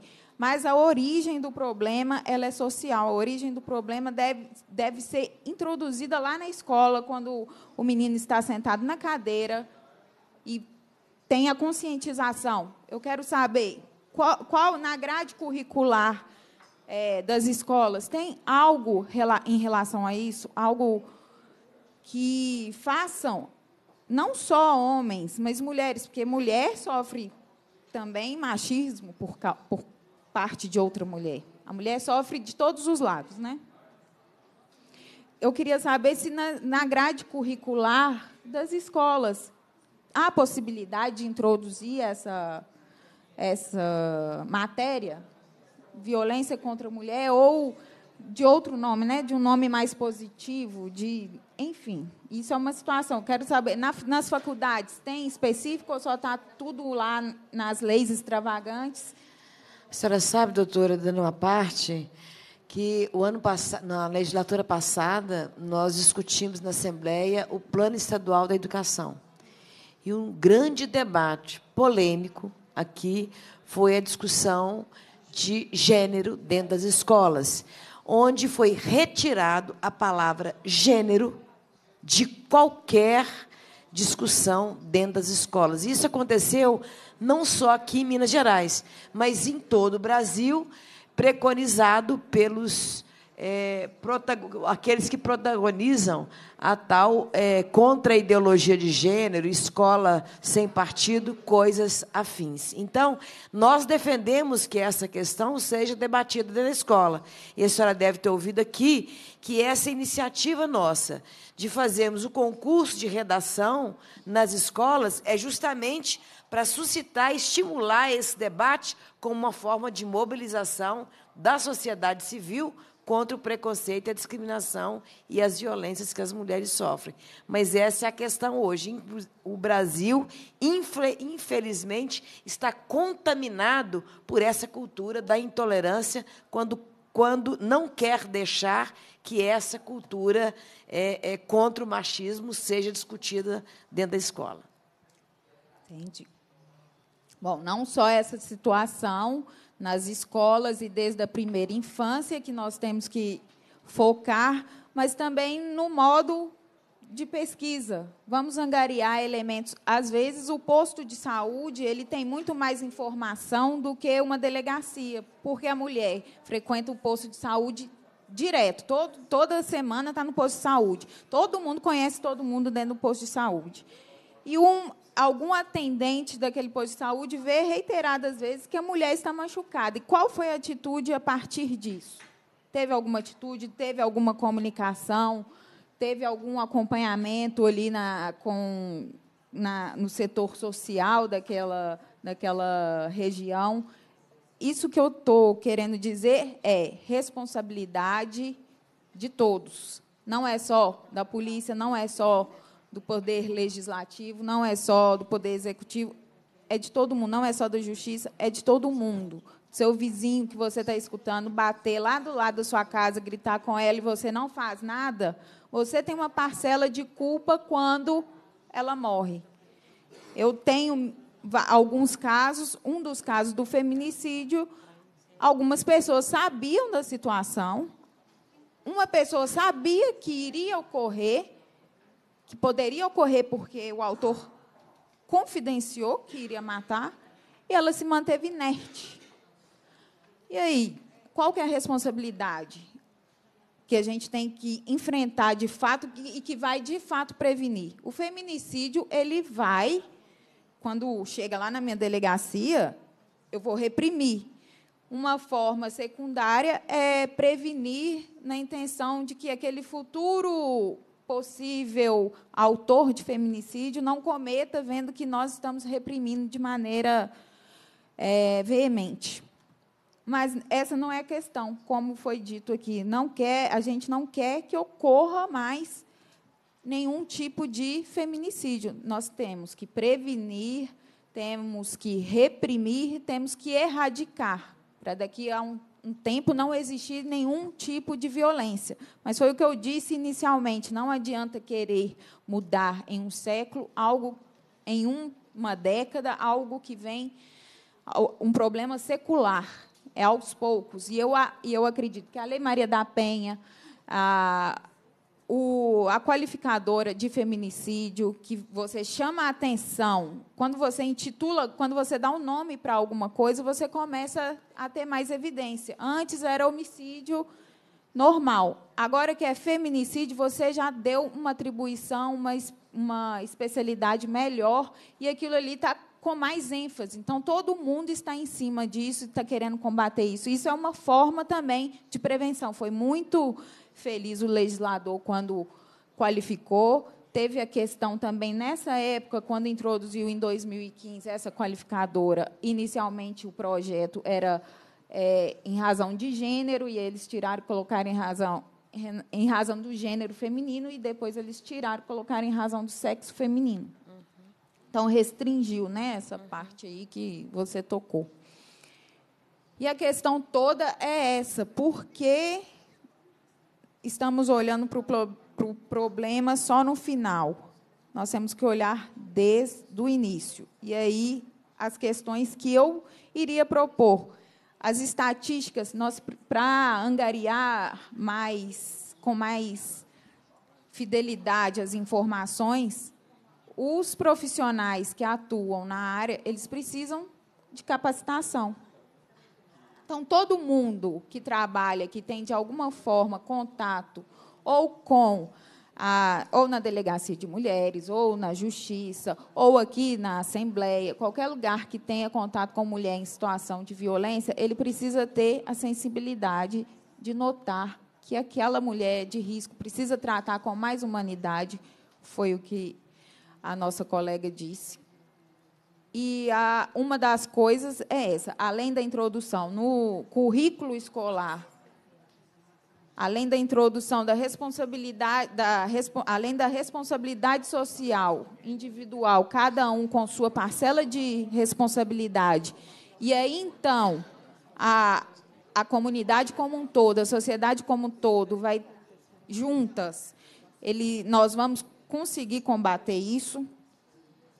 É, o angariamento de. O, a profissionalização desses servidores em todos os âmbitos, né, especialização. Uhum. Ele vai ter mais um melhor atendimento, vai ter mais um tato lá no posto de saúde quando ele perceber que a, que a mulher está machucada, vai entrar em contato com uma rede social ali daquela, daquele bairro.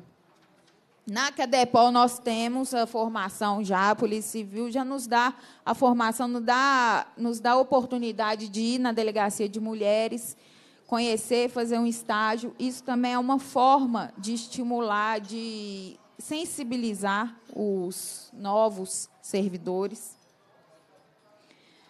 É, e também saber para onde estão indo os orçamentos saber se, se na Assembleia Legislativa, se aqui na Comissão de Mulheres, quantos por cento de tanto do orçamento foram é, investidos de fato naquela, na, no combate à violência contra a mulher.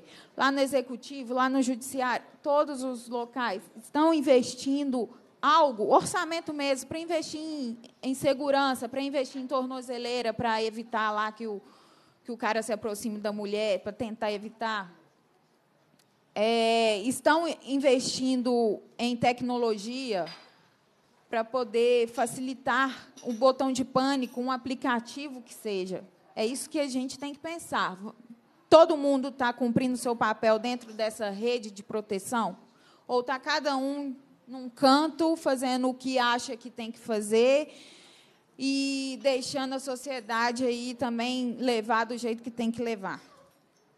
A união de esforços resulta em um, em um resultado de excelência. Eu também havia pensado numa situação, nós temos a CIA, que é um, é um prédio, para quem não conhece, lá só trata de menor infrator. Lá nós temos essa, essa, esse conjunto lá de de juízes, promotores, delegados, investigadores, todo mundo atua no mesmo prédio de uma situação visando apenas uma situação que é quando o menor comete o crime, é encaminhado para lá para ter todos os direitos assegurados, para ter tudo mais rápido, enfim. E por que não fazer isso para a área de mulheres? Um prédio, implementar um prédio com tudo que for necessário, com o IML, com o atendimento psicológico, social. É, a delegacia, o, a juíza de mulheres, a, o promotor de mulheres, tudo isso dentro, dentro só de um prédio. Uma, um prédio específico, uma casa de proteção à mulher ela foi agredida, ela vai ter uma referência. Eu estou sendo agredida, eu não tenho dinheiro nem para ir para a delegacia. Ela vai ter um número e vai falar: olha, eu estou sofrendo ameaça, eu preciso sair daqui da minha casa. E vai deslocar uma equipe. Vai sair desse prédio, o, as, o que for procedimento de polícia, a polícia vai fazer, a PM ou a Polícia Civil, o que for procedimento do juiz, o juiz vai fazer, o que for procedimento do promotor, ele vai fazer, da assistência social, todo mundo junto com esse fim específico. A mulher precisa ter uma referência, a gente precisa ter uma identidade. Quem eu procuro, como eu procuro. Porque muitas vezes, foi o que eu disse, às vezes nem passagem para ela ir na delegacia da queixa ela tem. E o vizinho que muito cobre, que vai chorar a morte dela lá depois, ouve ela apanhando todos os dias e nunca foi lá perguntar se ela está precisando de alguma coisa. Às vezes ela se submete a essa situação porque ela precisa, que ela depende financeiramente do, do companheiro dela. Isso eu estou falando de uma situação da qualificadora com relação à violência doméstica e familiar. Não só do marido, mas às vezes ela, uma senhora idosa, mora ali com o neto, o neto a obriga a fazer um financiamento para ele comprar qualquer coisa. Isso é um tipo de violência, é a violência econômica. Então, é muito mais amplo do que a gente pensa. O feminicídio é só a ponta do iceberg. O, a violência contra a mulher é mundial, é secular e está enraizada na nossa sociedade. E como trabalhar isso? Com essas medidas. A medida, para mim, mais eficaz atualmente, quando a gente olha para esse aspecto, é essa: integrar todo mundo com uma rede de políticas públicas voltada especialmente para as mulheres, mas não só uma rede fictícia, mas uma rede física, esse prédio com tudo que eu imaginei para poder apoiar as mulheres. Enfim, é isso. Obrigada.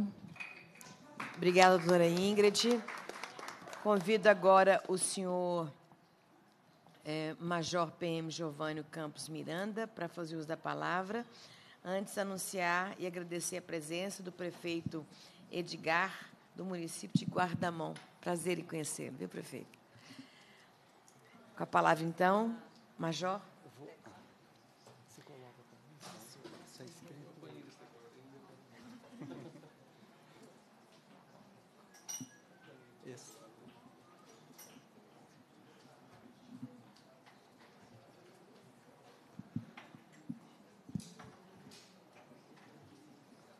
É, boa tarde a todos e a todas. Cumprimentar aqui a, a deputada Marília Campos, a deputada André de Jesus. É, dizer e agradecer né, é, pelo convite, a oportunidade da gente estar tá, tá aqui é, apresentando algumas informações. É, antes, porém, eu gostaria de é, Antes não, depois. Quando ela voltar, eu gostaria de fazer um agradecimento à deputada, mas quando ela voltar, eu faço esse agradecimento. É, eu gostaria de é, reforçar um pouco do que a, a Crislane disse e o que a doutora Ingrid disse também. É, eu trabalho, sou major da Polícia Militar, trabalho é, numa diretoria de apoio operacional e sou assessor de direitos humanos. E a gente não pode, enquanto direitos humanos, deixar de observar e, e verificar a questão do desrespeito das mulheres no, no cenário atual. Houve avanços? Houve.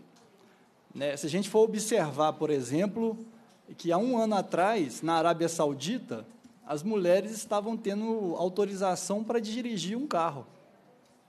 Nós estamos em 2019, 2018, a partir de lá que a mulher conseguiu ter essa autorização para dirigir seu próprio carro, ou sua moto, né? Então, assim, houve avanços? Houve avanços, mas ainda a gente precisa evoluir enquanto sociedade e o respeito, ele é necessário. Então, eu acho que esse é o maior desafio social que a gente encontra. É o desrespeito e a mudança disso, seja por parte de políticas públicas, na educação, em casa e como exemplo, cada um como exemplo, né? Então, é, essa é a primeira é, reflexão que eu gostaria de trazer aqui para essa discussão.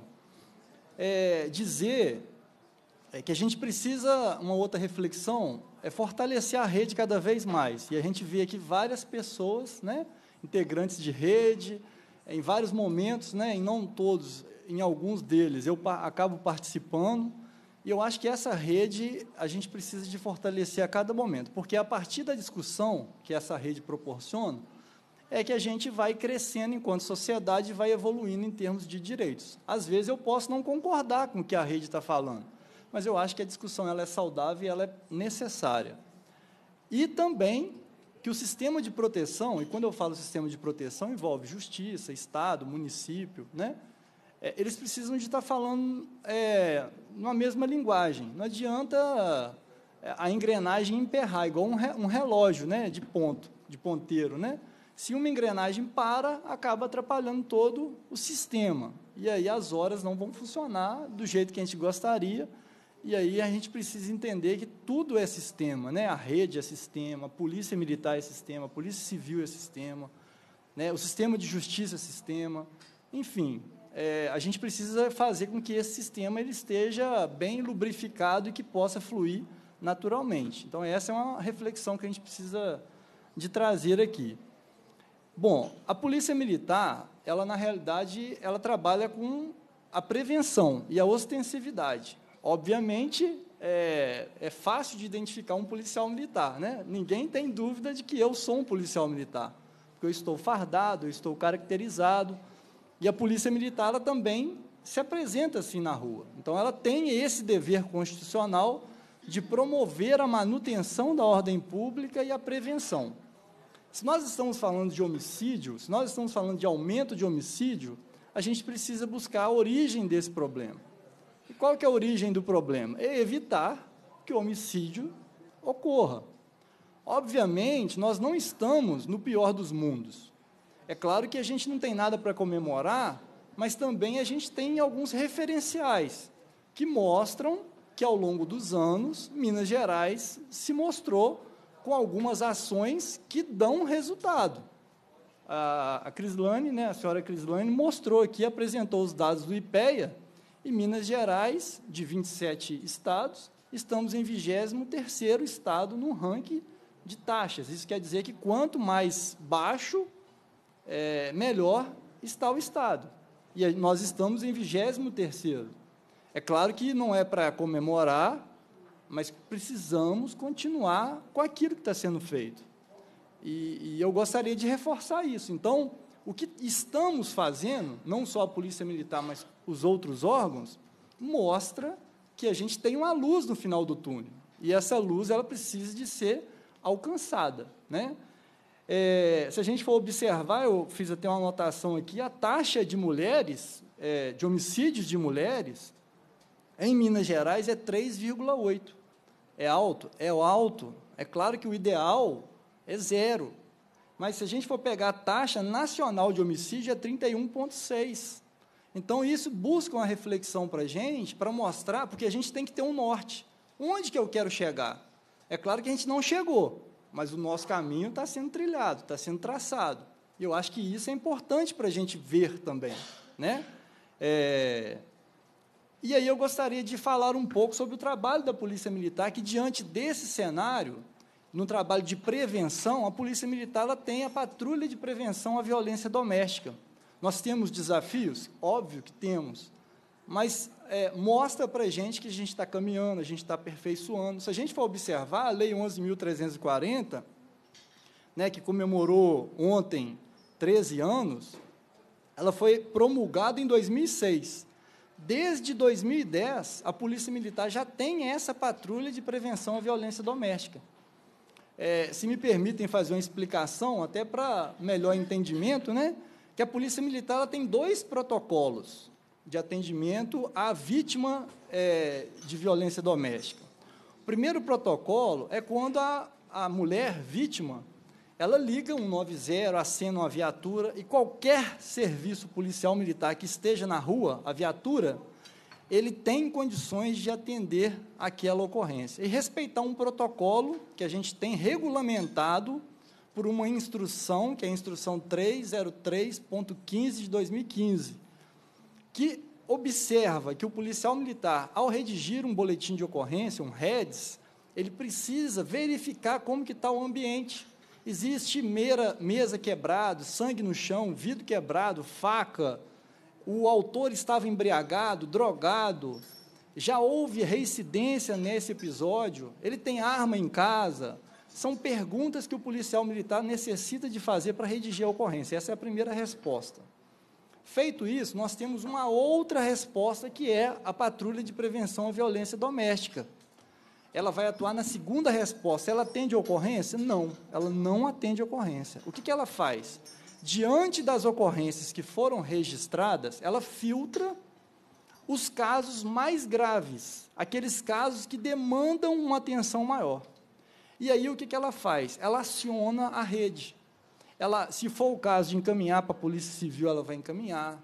Se for o caso de encaminhar para um apoio social, ela vai encaminhar são nove visitas que são feitas, que começa desde a mulher que foi vítima, passa pelo autor, né? na mulher pergunta se ela quer ou não ser incluída no serviço. Depois vai no autor e segue sucessivamente até o nono caso. Qual que é o objetivo? É evitar o ciclo da violência doméstica, é quebrar o ciclo da violência doméstica. Evitar que essa mulher ela registre um, dois, três, quatro, cinco, seis, sete, oito, nove, enfim, um número é, de heads de ocorrências. Então, esse é o objetivo da patrulha de prevenção à violência doméstica.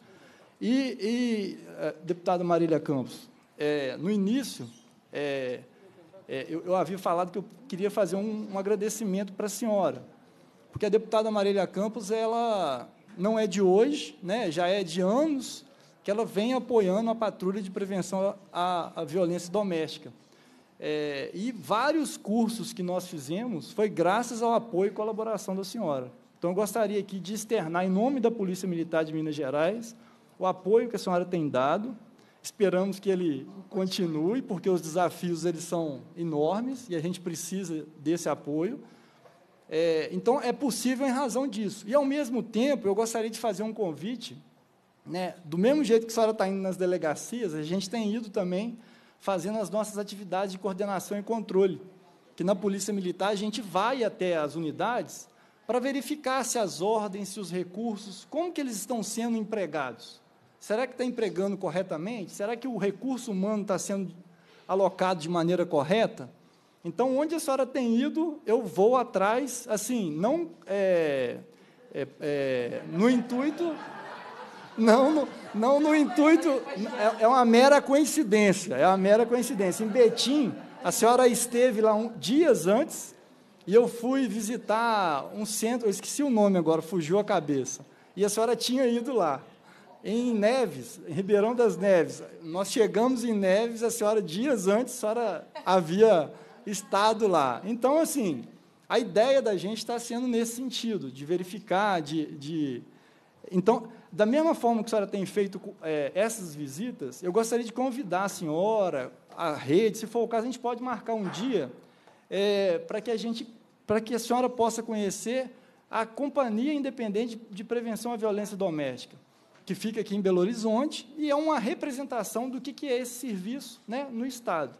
Então, fica o convite, depois a gente pode acertar com a Daniela uma data, né, que eu acho que é, é interessante da, da senhora também conhecer esse outro lado né, da, da patrulha. Então, esse trabalho da patrulha de prevenção à violência doméstica, nós entendemos que é um trabalho muito importante e temos alguns desafios. Então, eu vou apresentar aqui alguns dados, que esse é o propósito, acredito eu, da nossa vinda aqui. Né?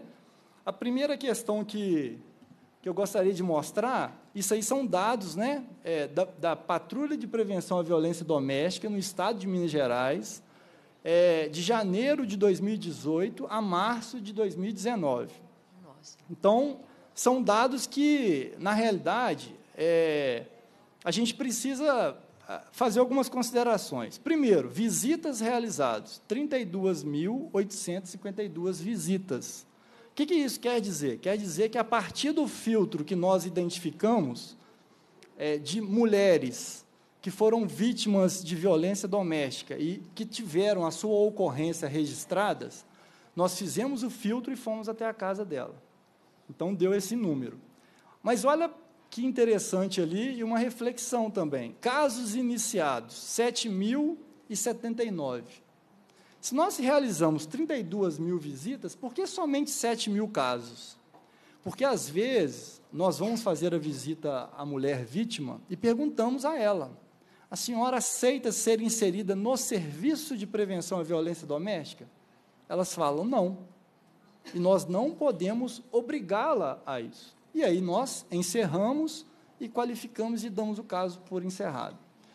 É, e casos encerrados, aqueles 5.454 foram casos em que concluímos que o ciclo da violência doméstica ele foi quebrado. Então, são alguns dados, assim, é, não é objetivo, mas eu acho que é interessante a gente fazer essa apresentação e essa exposição. Temos desafios enormes temos muitos desafios. Inicialmente, é, no início do ano, nós tínhamos no estado em torno de 20 municípios é, com a patrulha de prevenção à violência doméstica. Conforme o doutor Ivan disse aqui, o estado ele é, é dividido em 19 regiões. É para a questão de organização, isso em termos de segurança pública. Então, Belo Horizonte é uma região, Contagem é outra região, Betim é outra região, Juiz de Fora é outra região, Montes Claros. Então, só para identificar que eu sou da, da região de Juiz de Fora, e aí eu fico mais em casa para poder explicar do que aqui na região metropolitana. Juiz de Fora é uma região, é a quarta região. Essa região tem no entorno 86 municípios que são subordinados a Juiz de Fora. Dentro desses 86 municípios, nós temos batalhões, como, por exemplo, o batalhão lá de Muriaé, que é na divisa do estado do Rio e tudo. E lá tem aproximadamente 20 municípios que estão subordinados a Muriaé. Então, esses municípios que estão aí são aqueles municípios polos no interior do estado. Por exemplo, Juiz de Fora, que é o caso ali. Ele atende só Juiz de Fora? Não se houver necessidade de sair a patrulha de Juiz de Fora para Matias Barbosa, que é uma cidade próxima, a 10 quilômetros, ela vai lá. Como que ela vai? Caso haja algum cenário de maior gravidade para atender aquela população. Então, atualmente, nós temos 31 cidades atendidas pela Patrulha de Prevenção à Violência Doméstica. Sabemos e temos consciência de que esse número é pouco. Gostaríamos de ter mais. Mas aí vem uma reflexão. É, no início desse ano, nós montamos, a Polícia Militar, né, o nosso comandante-geral, ele montou uma comissão é, para que a gente pudesse estudar uma forma de fortalecer o serviço. Eu fiz parte dessa comissão, o trabalho foi realizado, concluímos, revimos o nosso protocolo de atendimento, que são aquelas nove visitas, e propomos algumas considerações ao comando da Polícia Militar, que já foi entregue e está em análise. Então, brevemente, gostaríamos de falar e aumentar esse número, mas a gente tem que entender que o aumento disso envolve treinamento e questão logística. Né? A gente precisa de capacitar os policiais e a gente precisa muni-los de equipamentos logísticos. É, o serviço, igual eu disse, ele é desenvolvido em nove visitas da PPVD. O caso aberto é em caso de maior gravidade. Né? E encerra-se o caso quando a gente, é, na realidade, verifica que o ciclo da violência doméstica ele foi quebrado. É, encerrando a minha fala, bem objetivamente, é, nós vamos realizar, a Polícia Militar vai realizar em outubro um seminário de prevenção à violência doméstica. Já gostaria de antemão, em princípio está marcado para o dia 24, a senhora vai receber o convite direitinho, mas eu gostaria já de antecipar é, esse convite ao seminário que nós estamos organizando.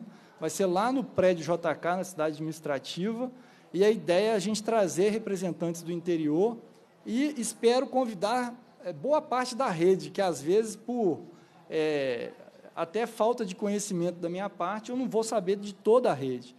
Mas, é, em boa parte da, dos que aqui estão, é, espero entregar o convite e gostaria de contar com a presença de todos para mais esse momento de reflexão e caminhar, né, é, como eu havia é, dito, é, o deputado, que o cenário assim não é de comemorar, mas a gente precisa continuar trilhando porque é, os desafios são grandes, mas que a gente tem mostrado é, que os casos, apesar de ser alto no, no, é, no país, as políticas e as ações desenvolvidas têm mostrado para a gente que, nos últimos anos, a gente tem conseguido resultados satisfatórios que dão mais responsabilidade a todos nós, né, de continuar trilhando para reduzir cada vez mais esses casos. Muito obrigado e boa tarde. Obrigada, Major. Já peço à consultoria para deixar um requerimento, nós não vamos aprovar hoje porque não temos quórum, mas de visita técnica à companhia, talvez no próprio curso, a gente combine isso aí, qual é a melhor tá. data, né? mas acho de fundamental importância da visibilidade a essa experiência, que, na minha opinião, é bastante exitosa. Parabéns pelo trabalho. Bom, convidar agora a Ermelinda para fazer as suas considerações. já não há estrela no céu. Estrela caminhava ao ritmo dos trovões que povoavam a sua cabeça, porque não conseguia parar de pensar no que o vovô havia, lhe havia avisado. O homem é que tem que ser agradado.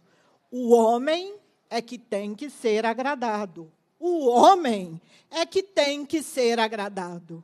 O homem é que tem que ser agradado.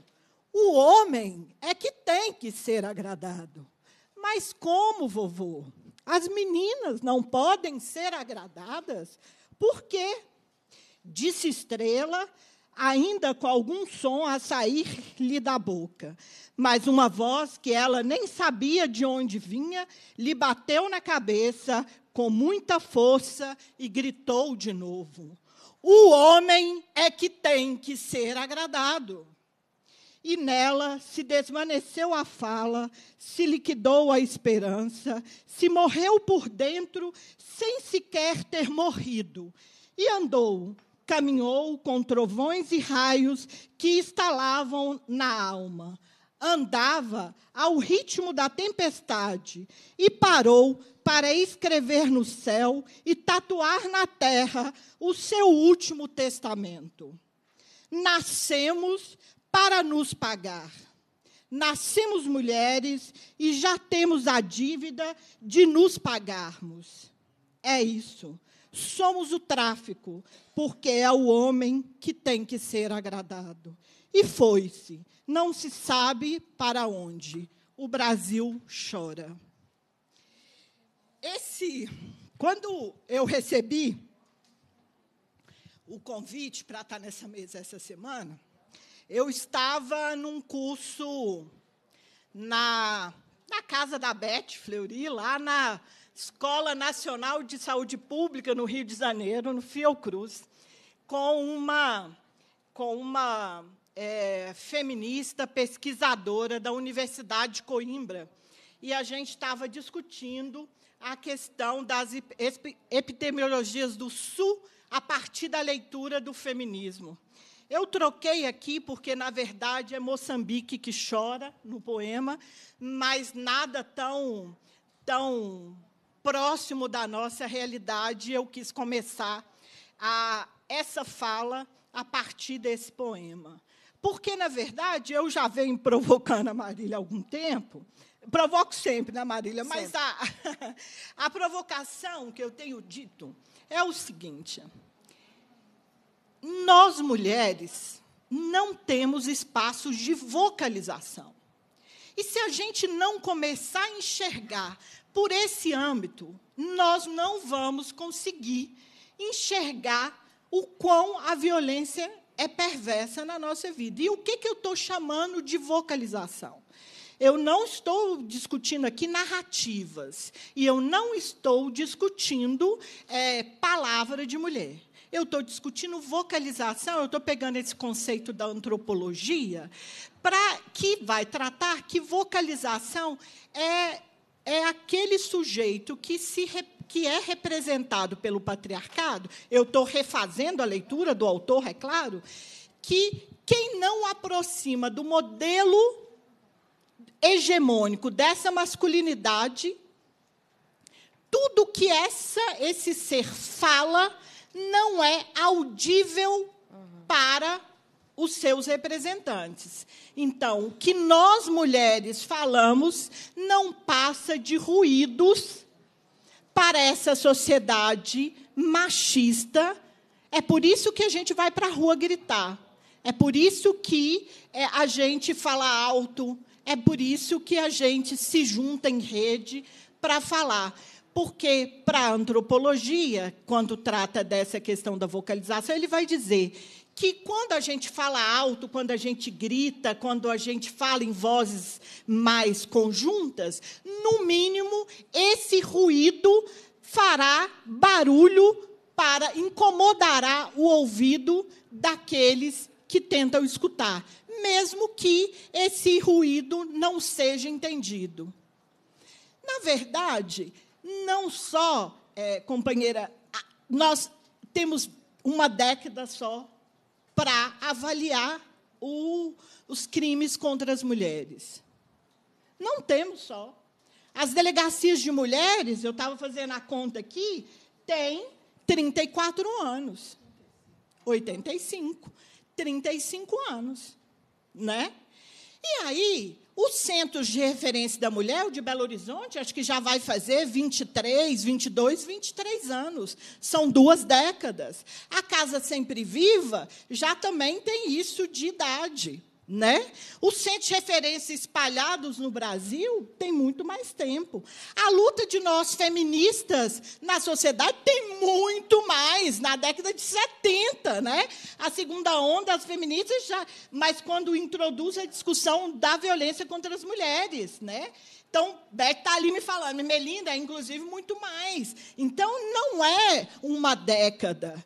E aí, eu faço um convite para nós. Eu tive na gestão de serviços até 31 de março, quando eu pedi demissão do consórcio Mulheres das Gerais. E faço uma demarcação do meu pedido de demissão, porque eu já não dou conta mais de estar em espaços onde a gente finge fazer um trabalho em prol das mulheres. E a lógica da vocalização que eu estou dizendo é para chamar as nossas companheiras, inclusive que estão na mesa, que estão na gestão pública, que estão aí nessa plateia, que estão na gestão pública, para fazer um tipo de crítica a qual é a nossa capacidade no serviço de permitir que as mulheres se vocalizem de permitir que as mulheres falem e deem conta de assumir a responsabilidade sobre as suas vidas. Não é à toa que eu adoro a delegada de, de contagem, a doutora Laís. Doutora Laís, numa audiência pública, e eu falei outro dia para ela, foi a primeira delegada na minha vida e não tem poucos anos, que teve a coragem de sentar num, nesse espaço aqui, porque esse espaço é complicado gente estar. Não é fácil estar nesse lugar. Quando a Marília nos convoca para estar nesse espaço, nós estamos nos expondo, expondo a nós mesmas e expondo os nossos serviços. Ou a gente acha que a plateia sai nos amando desse lugar. Não sai. Primeiro, porque muitas vezes a gente fala um monte de mentira. E não é mentira mascarada, mas apresenta dados que não representam, né? E a doutora Laís foi a única que teve coragem para mim, enquanto delegada, de, na audiência pública que discutiu a rede de enfrentamento à violência de contagem, de dizer. É muito complicado, porque eu recebo mulheres lá na delegacia de contagem que têm quatro processos, inquéritos, não estou falando o nome correto. Um de 2013, que já caducou, estou também usando o termo que não é do jurídico. 2014 nem foi instaurado. 2015 e 2016. Então, são dessas mulheres que, quando a gente vai ler os dados da Polícia Civil, nós temos que tomar um cuidado se a violência diminuiu ou o número de registros. E tenho a tranquilidade de fazer, falar isso aqui, porque na reunião com o secretário de Segurança Pública do Estado de Minas Gerais, quando ele abre a reunião e diz para nós, mulheres, né?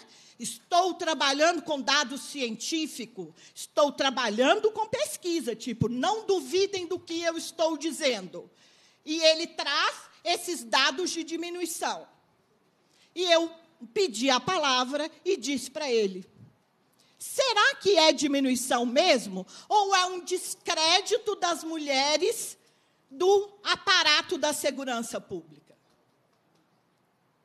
Será? Dados servem para justificar muitas coisas.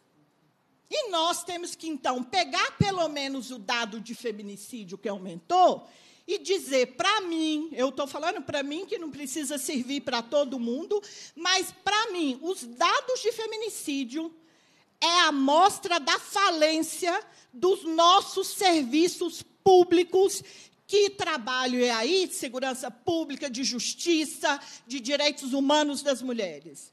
É a representação para mim da falência do que nós estamos fazendo. Quando eu leio uma reportagem de uma juíza da lei, Maria da Penha, a partir desse último caso de feminicídio que teve, que a Marília abriu aqui falando, dizendo porque é fácil jogar a responsabilidade do nosso parceiro. O problema é que ela indeferiu, ela tinha indeferido o pedido de prisão do cara. E ela joga a responsabilidade para a Polícia Civil, porque a Polícia Civil não tinha dito com, né, não tinha instaurado da forma, cheio de, de informações que é, dessem a ela a credibilidade da palavra da mulher de falar que estava correndo é, risco de morte. E ela agora está dizendo que vai tomar mais cuidado quando chegar até ela um pedido de medida de, de pedido de prisão. Essa é uma das juízas que nós da rede, né, até pouco tempo eu fazia parte desse lugar, nós arrepiamos nossos cabelos de tanta coisa que ela faz que não é favorável às mulheres. Então, nós temos que parar. E aí, Marília, eu acho que a gente está precisando chamar os serviços, mas chamar numa roda de conversa íntima, sabe? Estou usando até a palavra é, errada, porque nós temos que começar a falar: olha, eu tô, eu, de que, que eu estou errando? Eu estou errando porque eu não escuto. E, infelizmente, a forma de gestão pública do nosso país é muito complicada, porque a cada quatro anos entra um novo prefeito, um novo governador, entra com uma nova equipe de, de gestão e todos inventam a roda de começar tudo de novo, porque precisa chamar o bebê de seu. Né? Eu não posso fazer aquilo que Ermelinda, eu não posso continuar o que Ermelinda fazia no consórcio Mulheres das Gerais, porque eu estou falando de mim, porque eu quero dar a minha cara. Eu não posso continuar fazendo, né? Outro dia a secretária, e me desculpem, não vou dizer nome, mas vou falar dos serviços quando a secretária, numa última audiência pública aqui nessa casa, dizia: Ah, porque nós estamos pensando, a gente não sabe o que fazer. E eu, a Marlise, todas nós que estávamos lá, falou. Secretária, é só pegar os instrumentos que a Secretaria de Política para as Mulheres do governo passado deixou. Então, a gestão pública nem para para olhar. E para mim, sabe por que, que não para? Para mim, tem um inimigo oculto às mulheres na gestão pública. A gestão pública é patriarcal da mais forma perversa para as nossas vidas. A Marília fica e organiza para cá, organiza para lá, e sempre estamos escutando as mesmas coisas. Na reunião com o secretário de segurança, ele dizia, e o chefe da Polícia Civil dizia: não tem dinheiro, não tem isso. Isso nós estamos escutando há muito tempo. As delegacias com 35 anos de, de idade, com 10 anos de idade, foi sol teve um relatório das delegacias e as delegadas não tinham carro, não tinha, não tinha arma, não tinha isso, não tinha aquilo e continuamos. Então, lamento, lamento, vamos continuar tendo mulheres morrendo mesmo. Esse sistema capitalista é perverso, esse sistema capitalista, esse sistema brasileiro, inclusive, ele odeia as mulheres para mim. Não tem uma outra explicação. Porque temos dinheiro para um monte de coisa, mas não temos dinheiro para equipar a delegacia de mulheres de contagem, não temos dinheiro. Todas as vezes que a gente propõe alguma coisa, o Estado vem, redesenha, a vara de contagem da Maria da Penha, que a gente ficou toda feliz, inclusive numa reunião onde o, o, o chefe da, do TJ me deu uma voadora. Né? No dia da audiência, eu fui fazer um questionamento a ele, ele né, enfurecido de uma mulher falar com ele num questionamento, ele me deu uma voadora que eu quase caí da cadeira, né? Ele então se compromete a criar a vara da Maria da Penha em contagem e qual é a nossa o nosso Resultado final: é a única, é, só julga os crimes contra as mulheres? Não, e o juiz já está lá dizendo, né? Olha, é complicado porque eu tenho isso de trabalho e ainda a lei Maria da Penha. Então, sempre é isso. Sempre nos colocam no puxadinho, seja da segurança, seja na área da justiça, seja na política de direitos humanos. E aí, para terminar, Marília, eu queria te fazer uma proposta. Você está visitando, e eu acho que eu, aquele, na última audiência eu te falei, você chutou pegou a bola e, na minha avaliação, você fez um gol. Que foi: deixa eu visitar as delegacias de mulheres da região metropolitana. Eu te sugiro, faça um relatório, mas nós precisamos de um relatório robusto sobre a situação das, delegacias. Não dá só um relatório pequeno, eu acho que tem que ser um relatório que a gente deva publicar as situações das delegacias da região metropolitana. Eu queria fazer um outro desafio. Eu sei que a Assembleia tem restringido as viagens para o interior, mas seria muito importante que se fosse estendido pelo menos para uma delegacia de cada região do estado de Minas Gerais, que se não desse para visitar todas as delegacias do interior, delegacias de mulheres do interior, que pegasse alguns, algumas regiões, pelo menos uma ou duas, e eu te sugiro, chame um seminário que é, torne público, porque eu tenho falado, ou a gente vai transformar é, essa situação que nós vivemos é, por luta nossa ou nós vamos fazer por constrangimento. Então, nós não estamos conseguindo pelo convencimento. Eu sugiro, então, que a gente faça, por constrangimento, um bom relatório e um bom seminário para mostrar as situações das delegacias de mulheres, porque foi o nosso primeiro equipamento que trabalhou a questão das mulheres. Eu não conseguiria fazer uma fala diferente diante do cenário de algumas falas da mesa e diante do número enorme de mulheres que nós estamos vendo morrendo no nosso Brasil. Obrigada. Obrigada, Ermelinda. Ermelinda, a ideia é justamente essa: fazer uma publicação é, de todas essas visitas técnicas é, e fazer um lançamento dessa publicação na Assembleia Legislativa próxima aí, setembro, tá? A gente espera concluir todas as visitas, tá bem? Dirlene.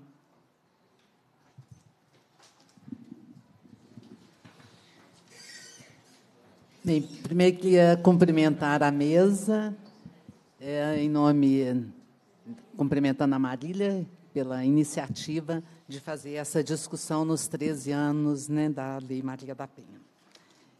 É, eu sou da rede feminista, e, mas eu participo aqui também de um movimento que a gente chama de Movimento 8 de Março Unificado.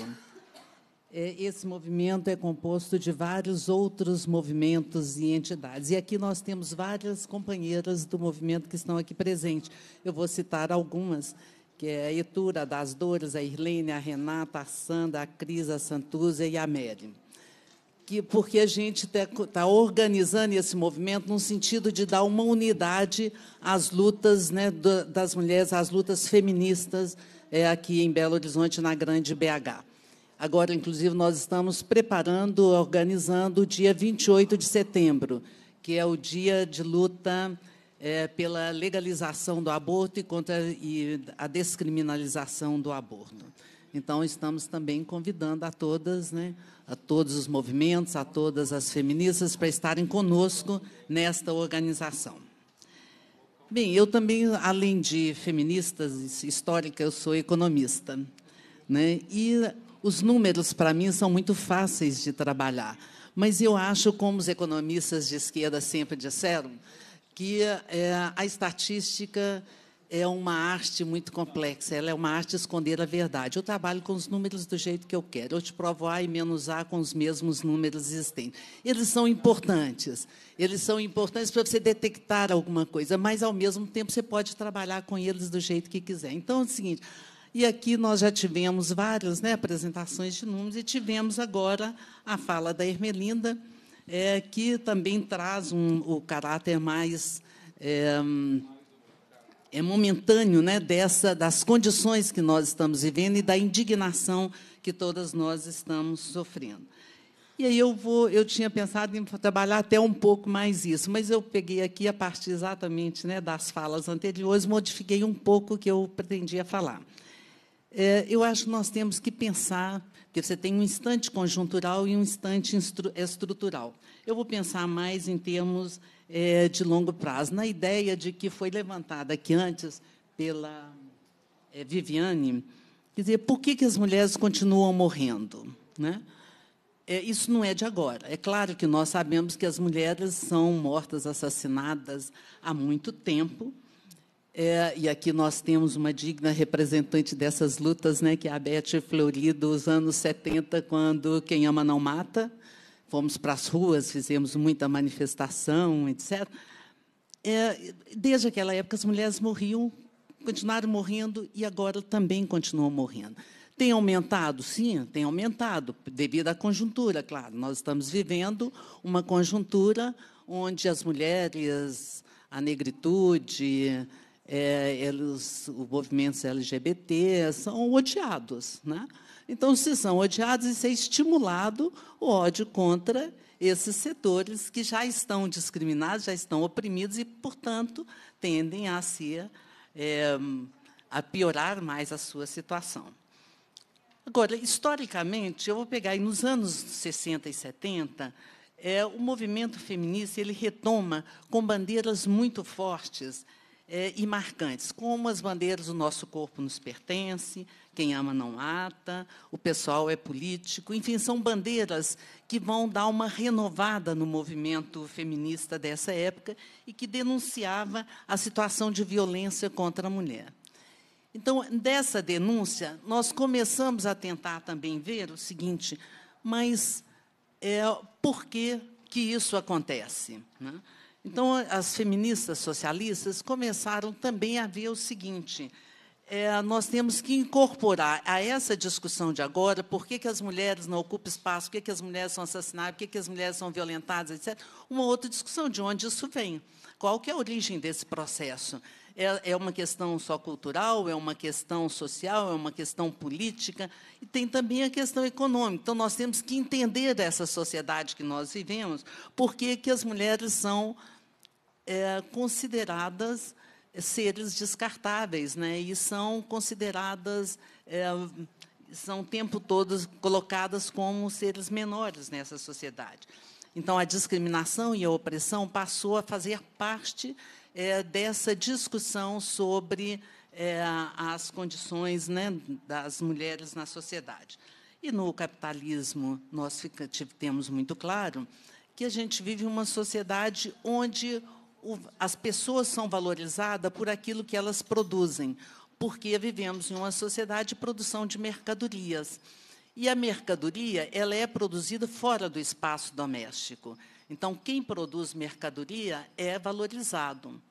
Quem produz fora do espaço doméstico, quem produz no espaço doméstico, não tem importância. Tanto isso, todo mundo sabe disso. Quando você vai lá, é, uma enquete, fazer pergunta, você trabalha? Não, não trabalha. A mulher trabalha 10, 12, 15 horas por dia, mas ela não trabalha.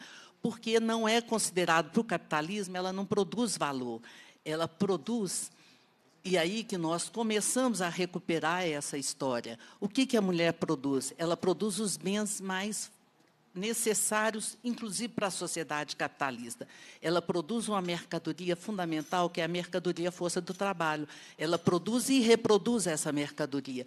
Porque se você não tiver esse trabalho da mulher produzindo e reproduzindo a mercadoria força do trabalho, os salários teriam que ser muito mais elevados, porque você teria que pagar para ter creches, para ter lavanderias, para ter restaurantes, e porque as, as pessoas trabalhadoras é, do espaço público, elas teriam que estar ainda se reproduzindo e não teria, seria feito dentro do espaço doméstico de forma gratuita pela mulher.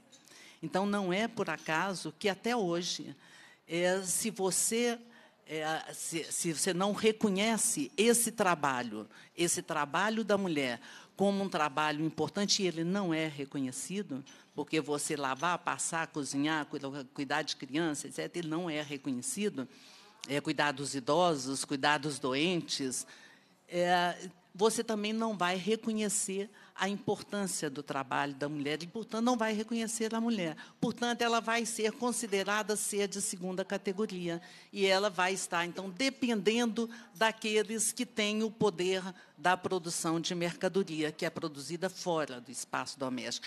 E aí, quando a mulher sai também cumpre, né? Aí, no caso, é o que a gente vai passar a chamar a partir dessa época a dupla jornada, e que depois passa a ser tripla jornada, quádrupla, etc.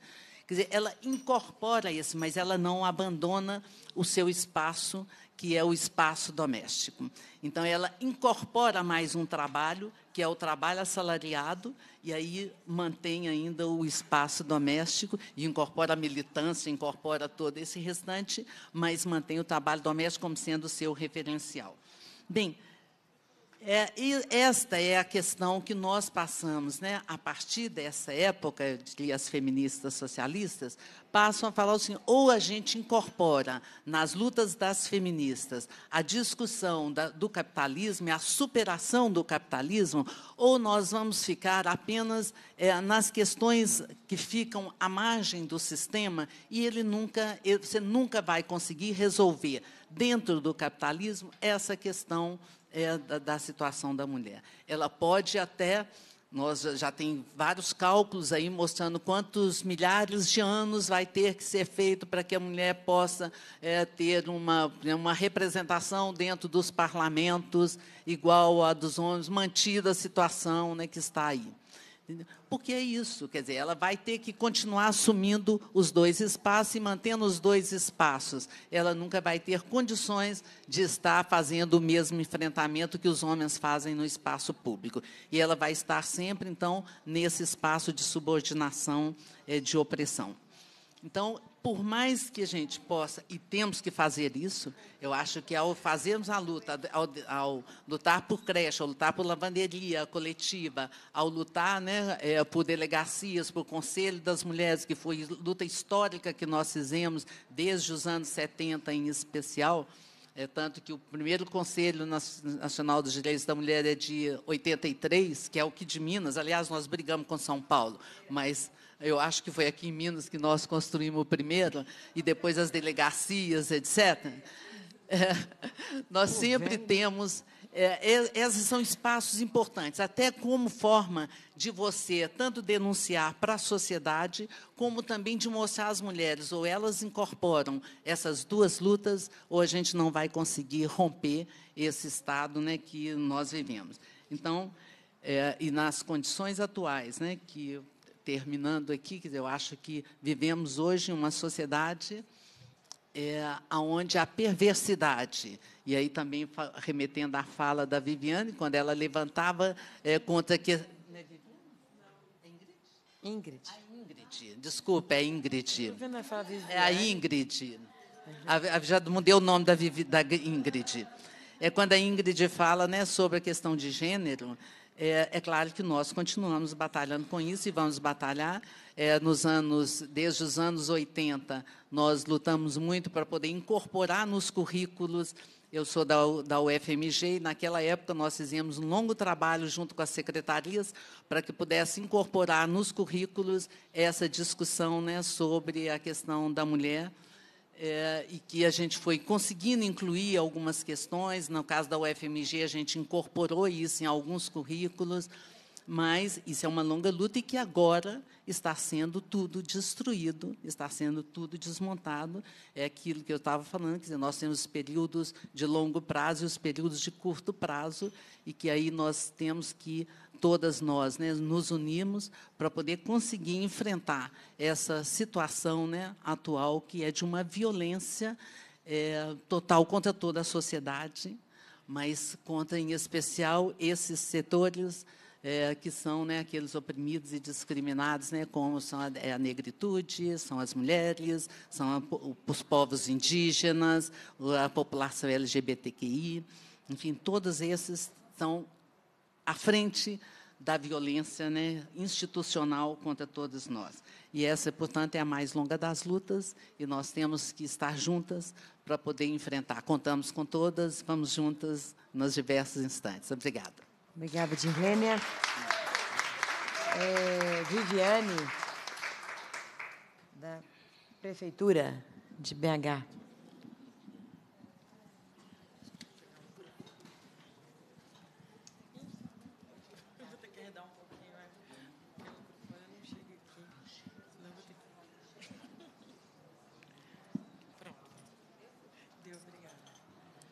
Boa tarde a todas as mulheres presentes, parceiras aí de caminhada de luta. Boa tarde, deputada Andréia, deputada Marília, obrigado pelo convite. Peço desculpas pelo atraso, mas estava numa outra pauta da Diretoria de Política para as Mulheres. É, quero dizer que é muito importante a gente ter esse momento de discussão e que mais do que momentos como esse de discussão, a gente precisa muito de pensar como setor público é, quais são as ações que a gente tem feito que tem culminado para esse aumento né, do feminicídio é, com relação às mulheres. Eu queria tecer algumas considerações assim que eu acho que são importantes, né? Quando a gente fala desse fenômeno do, do feminicídio, entendendo que a violência contra a mulher ela é multicausal, é, ela é multidimensional, é muito importante é, observar que junto do feminicídio acontecem outros fenômenos também, né? Existe a morte simbólica dessas mulheres que vivenciam a situação de violência, que ela precisa muito é, ser reconhecida por todos nós, tanto no setor público quanto pela sociedade como um todo. É, existem várias mulheres que são atendidas em serviços públicos como o Centro Especializado de Atendimento à Mulher Bem-vinda, que tem as suas vidas drasticamente prejudicadas por conta dessas situações de, de, violência, que fazem com que elas tenham uma sobrevida. Então, essas mulheres não chegaram a, a, a esse feminicídio que a gente está discutindo aqui, mas existe uma morte simbólica que ela é muito concreta e a gente precisa de estar atenta a ela. E uma outra questão também que, gente, que nós precisamos de nos debruçar é, que é algo que a gente vem discutindo com redes de mulheres no país como um todo, é que existe um número de suicídio muito alto de mulheres. E quando a gente vai verificar os motivos desse suicídio, são muitas dessas motivações são por conta da violência doméstica. Então, se a gente for calcular a morte simbólica que essas mulheres têm, a morte do feminicídio e o suicídio, o número é muito maior muito maior. Então, a gente está lidando com uma situação que é gravíssima e a gente precisa de ficar atenta a isso. E quando a gente pensa nas causas dessa situação, eu acho muito importante pensar na educação, eu acho muito importante pensar na família, mas é importante que a gente tenha um cuidado quando a gente fala da família, porque, como a Dirlene diz, quem é o pilar da família? A mulher. Então, quando a gente fala que, é, que a família precisa de educar os filhos, é como se a gente estivesse referindo a mulher como a principal responsável por essa educação que a gente tem, sendo que essa família ela está dentro de uma sociedade. E essa sociedade ela é machista e patriarcal. Então, isso não é uma construção da mulher, não é uma construção da família. É uma reprodução de uma sociedade que a gente tem, que é patriarcal, que é machista, e que tem um modus operandi de acesso ao poder que não é majoritariamente formado por mulheres. Né? Então, é muito importante que a gente faça essa leitura. E eu, como mulher negra, que integro a Prefeitura de Belo Horizonte, como diretora de política para as mulheres, vejo o tanto que a gente vivencia um meio branco, masculino e classe média, classe média alta. E onde é que as mulheres estão, né? Onde que as mulheres estão nessa formulação da política pública? Onde que as mulheres se encontram nesses cargos nos setores públicos? É, é muito importante que a gente tenha atenção para isso, porque senão a gente entra numa questão é, da família e não consegue chegar na raiz do problema, né? E mais uma vez culpabiliza as mulheres. Isso é muito importante. Na Prefeitura de Belo Horizonte, a partir de uma parceria que a gente fez é, com a ONU Mulheres, que a Prefeitura assinou em 2017 a plataforma Cidade 5050, se comprometendo a ter uma cidade mais igualitária para homens e mulheres, a gente tem construído um plano municipal de equidade. E, a partir dessa construção, nós fizemos um diagnóstico entre 12 secretarias da Prefeitura. E o que, que a gente percebe? Que o fato dos cargos de gestão serem ocupados majoritariamente por homens fazem com que políticas que são pensadas para a população como um todo não levem em consideração a perspectiva de gênero na sua implementação, na sua elaboração e na sua implementação. E isso prejudica seriamente o acesso das mulheres aos direitos. Então, uma outra fala também que me preocupa muito, é, que a gente ouve de forma recorrente do sistema de justiça, de defesa e também do, do sistema de, de proteção, é quando a gente fala, nós oferecemos para essa mulher um serviço e ela não aderiu. Eu penso que nós, do setor público, temos que pensar que a lógica de garantia do direito ela é processual, ela é muito maior do que a oferta de um serviço. Então, nós precisamos de refletir em que momento que nós falhamos como setor público, que fez com que essa mulher ficasse sozinha, a ponto de quando a gente voltasse para oferecer numa hora de urgência muito grande um serviço, ela fala: "Não, eu não, eu não quero". E a gente fala: "Ela não aderiu". Porque quando a gente fala que ela não aderiu, é como se a gente culpabilizasse e responsabilizasse essa mulher pela permanência da situação de violência ou então por essa morte. Então, nós que estamos operando as políticas, temos que tomar muito cuidado com isso. E, por, por, essas questões, quando é, eu, eu, venho fazendo uma série de entrevistas e reportagens nessa, nesse, nessa semana, né, por conta do aniversário da Lei Maria da Penha, e existe muito um questionamento se a Lei Maria da Penha é uma lei que tem funcionalidade. Né? E a Lei Maria da Penha ela é um avanço. Nós não podemos é, é, questionar a importância da lei ou não, mas a sua aplicabilidade ela precisa de ter um rigor maior. E essa aplicabilidade ela, ela pode ter um rigor a partir do momento que os operadores do sistema de justiça e de defesa entenderem a gravidade da violência contra a mulher. Porque nós estamos dizendo de mulheres que morrem porque elas não esquentaram o jantar. Nós estamos dizendo de mulheres que morrem porque elas não quiseram ter relação sexual com seu companheiro. Isso é muito sério. E isso fica no âmbito privado, a ponto desses operadores do sistema de justiça e de defesa questionarem a culpa da mulher ou não de ter se submetido a essa relação abusiva. Então, nós perdemos muito tempo discutindo isso, ao invés de pensarmos o porquê que as mulheres são reconhecidas nesse lugar subalterno na sociedade. Então, eu vejo que é muito importante que a gente venha aderir, é o que nós estamos tentando na Prefeitura de Belo Horizonte, aderir uma perspectiva de gênero que entenda essas relações, essas assimetrias entre homens e mulheres, para que a gente possa pensar políticas públicas específicas para as mulheres e para que a gente possa pensar no sistema de defesa, no sistema de justiça, uma aplicabilidade da Lei Maria da Penha que não culpabilize a mulher, que não venha olhar o que, que essa mulher fez que roupa que ela estava vestindo, onde que ela mora, quanto tempo ela estava com esse companheiro, quantos filhos de quantos pais diferentes ela tem, quantas medidas protetivas ela pediu ou não, quantas vezes ela foi até a delegacia e retirou a, a, a, a queixa. Não, não são esses pontos que estão em análise. Eles não devem estar em análise para saber se essa mulher vai ser ou não protegida. A mulher é uma sujeita de direito como qualquer outra pessoa e desde da prevenção a essas questões ela precisa de ser ouvida e ela precisa de ser reconhecida.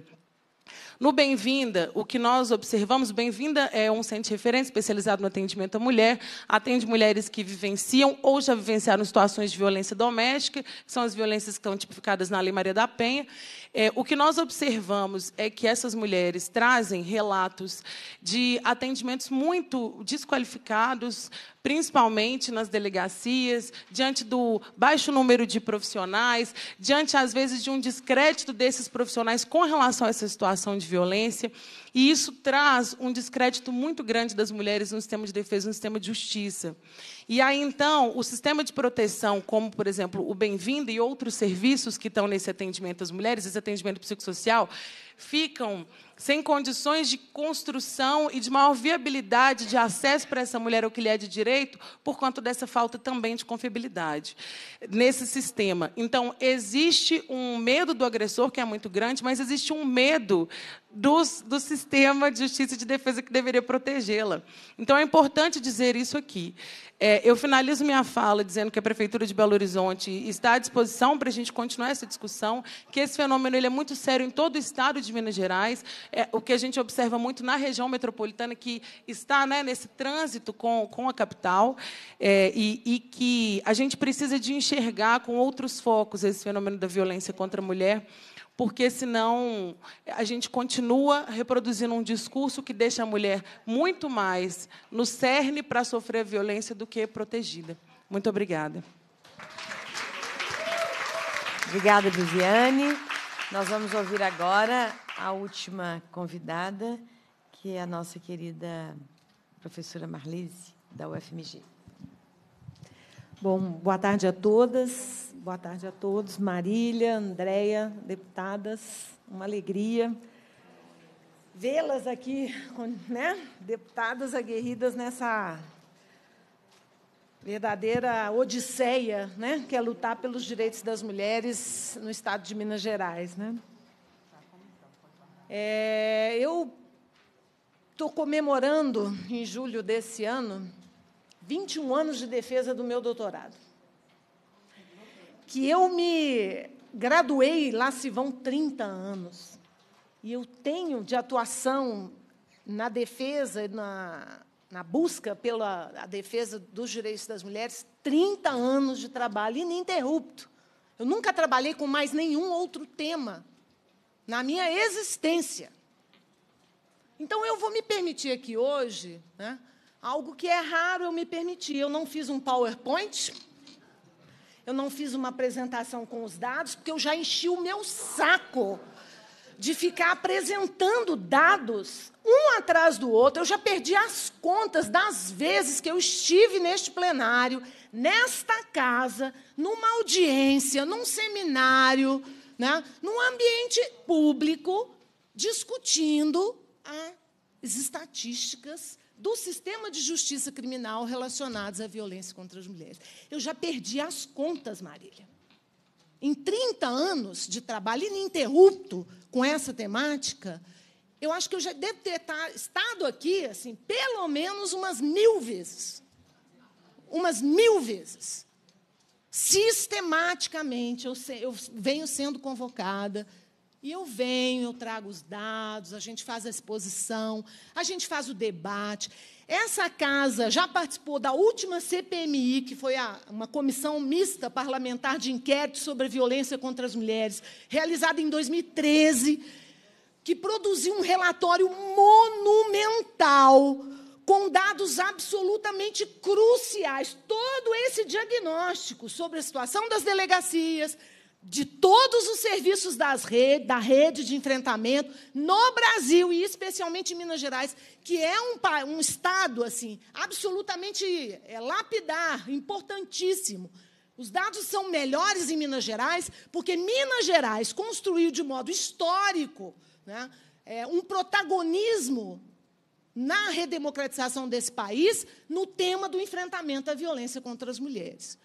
Minas Gerais, segundo estado a criar o Conselho de Direitos das Mulheres, o segundo estado, depois de São Paulo, a criar as delegacias de mulheres, e lá se vão mais de 30 anos, como bem foi lembrado aqui, né, que esses, é, esses serviços e essas, esses equipamentos públicos foram criados para fazer o enfrentamento à violência contra as mulheres. E de 30 anos para cá, o que a gente vê e assiste é o aumento e a escalada da violência é irreversível. É um negócio absolutamente impressionante. Você acompanhar, e angustiante, óbvio, né? Haja terapia, né? Para dar conta de observar a continuidade, a permanência, a persistência dos indicadores de violência brasileiros, e especialmente esses relacionados às mulheres. Porque eles são consistentes, continuadamente, escalando e aumentando. Se o homicídio aumentou 4%, vocês podem ter noção. Eu não acredito que tenha sido apenas 4%. Mas o feminicídio das mulheres, né, aqui na, na cidade de Belo Horizonte. Se foi só isso, as outras formas de violência. Nenhum feminicídio começa com a facada, com o tiro ou com a pedrada. Né? ele começa com aquelas inúmeras, milhares de outras formas de violência. Então, vocês multipliquem cada um desses feminicídios né, por centenas de milhares de eventos de outros formatos de violência que cada uma dessas mulheres assassinadas sofreu. E que cada um de nós que está aqui dentro dessa casa tem o seu dedo de participação na morte de cada uma dessas mulheres. É disso que a gente não fala. Da omissão dos nossos serviços. Quando, Major Joviano, a, a equipe de patrulha da violência doméstica encerra o caso porque a mulher não quer ser incluída, está errando, está se omitindo. Porque essa mulher que não quis, ela tem que, no mínimo, ser encaminhada para o bem-vinda, para um centro de referência. Porque a gente sabe e a equipe sabe avaliar o risco que essa mulher está correndo. E ela, diante de uma situação de vulnerabilidade e risco, ela não pode fazer essa escolha sozinha. Ela precisa ser atendida, acolhida. Ela não está sendo escutada, assim como eu, há 30 anos, também não sou escutada. E a Ermelinda tem toda a razão. Nós temos um problema que não é de vocalização, na minha opinião, não. Porque nós falamos e falamos o tempo todo. O que nós temos é um problema de audição. Nós não somos escutadas. É lamentável reconhecer isso. Mas nós estamos há 30 anos, no mínimo, falando as mesmas coisas. E nada acontece. Quem ama não mata fez quantos anos, Beth? 40 anos de quem ama não mata. Me entendem? Nós estamos falando, vocalizando publicamente de todas as formas que é possível vocalizar. E não somos, literalmente não somos escutadas. Eu vejo aqui gestoras, colegas de profissão, profissionais, militantes, né, feministas históricas e recentes, que falam desse tema, assim como eu, há séculos. E eu vou me permitir né, é, discordar muito profundamente da Ingrid, Ingrid, quando você fala né, que a nossa única. é, que não podemos mudar um problema que é secular. Nós só não, não só não podemos, como devemos mudar. A gente só tem que fazer isso, a gente não pode mais. Né? Essa frase, Ingrid, essa frase é a frase, é a enunciação do mandato da violação masculina na boca de uma mulher. Essa é uma fala. é, por favor, Ingrid, depois você pode ter o seu à parte. Essa fala, e outras muitas que eu escutei aqui, né? Nós temos um ciclo perverso, né, que a gente não fala sobre ele, e as nossas ações, inclusive de políticas públicas, alcançam muito pouco quem detém o mandato da violação, que são os homens. Nós, assim, ensaiamos fazer uma, uma política de atendimento aos homens, ensaiamos, temos um, um centro, um único, em, em toda Minas Gerais. Dois, que atendem homens agressores. Por quê? Porque eles simplesmente são intocáveis. Nada acontece com esse homem agressor, quer dizer, nada. Né? As punitivistas vão dizer para mim, vão ser encarcerados, vão ser presos. Óbvio, cometeram um delito, um crime. Direito violado, tem pena. Tem que ter resultado. Mas, infelizmente, a gente não toca naquilo que é o cerne. O, o cerne da origem da violência não é a família desestruturada. 40% dos domicílios deste Brasil são chefiados por mulheres sozinhas. Sozinhas. Ok? Infelizmente, os homens se omitem e se demitem da sua atuação como pais. E a demissão da paternidade, essa é responsável pela violência. O abandono do lar e que deixa essa mulher desesperada para sustentar exclusivamente por sua própria conta e risco os seus filhos, é responsável pela violência doméstica familiar. o mandato da violação e da violência masculina que os homens detêm, esse sim, secularmente, uma condição de absoluto mando e privilégio nessa sociedade, é essa a origem da violência contra as mulheres. Não está na família desestruturada. A violência é fruto de uma sociedade politicamente hierárquica, e a primeira relação politicamente hierárquica são as relações de gênero. É aquela que se dá entre mãe e seu filho, entre mãe e pai, entre mulher e marido. É aí que as primeiras. Essas são as relações políticas. O feminismo diz isso, gente, há 100 anos. Há 100 anos que nós estamos afirmando que o pessoal é político. E ninguém escuta. Ninguém nos ouve. Um outro lema que não foi mencionado aqui: democracia na casa e na rua. A democracia não é um sistema político. Eu sou professora de ciência política. Eu tenho lá vários colegas que democracia para eles é sistema político, sistema de governo. Democracia, gente, é o cotidiano. E isso não existe nesse país. Nas casas dos nossos lares, enquanto nós não formos ali dentro, né, relações de fato equânimes, justas, igualitárias, não hierárquicas, não tem democracia. Não haverá democracia nessa casa, Marília. Ela é só o, né, o ponto de chegada de um processo muito anterior. Então, assim, é, é, é, verdadeiramente assustador. Por exemplo, tem uma coisa simples que eu ando estudando há muito tempo, mas que ninguém fala. Homens agressores de mulheres agridem animais. A agressão aos animais, a crueldade com os animais é uma proxy de violência doméstica. Ninguém fala sobre isso. Isso tem pesquisa internacional comprovando isso. Ninguém fala sobre esse assunto. Ninguém estuda sobre aquilo que de fato é real. Eu já cansei, gente, eu já perdi as contas de quantas capacitações para a Polícia Militar, para a Polícia Civil. Né? Eu sou responsável pela coordenação da formação transversal em direitos humanos da UFMG. Continuo lá falando para todos os graduandos da UFMG que querem fazer uma formação transversal em direitos humanos. Óbvio que o tema das mulheres é eixo articulador fundante de uma formação transversal em direitos humanos, assim como raça, né, assim como sexualidade, porque essas não são questões identitárias, essas são questões da fronteira da democracia, aonde a democracia não foi, não chegou. O problema da violência é um problema da não democracia experimentada nas relações de gênero. Eu falo isso há 30 anos. Há 30 anos, né? e vou morrer falando. Mas é. É.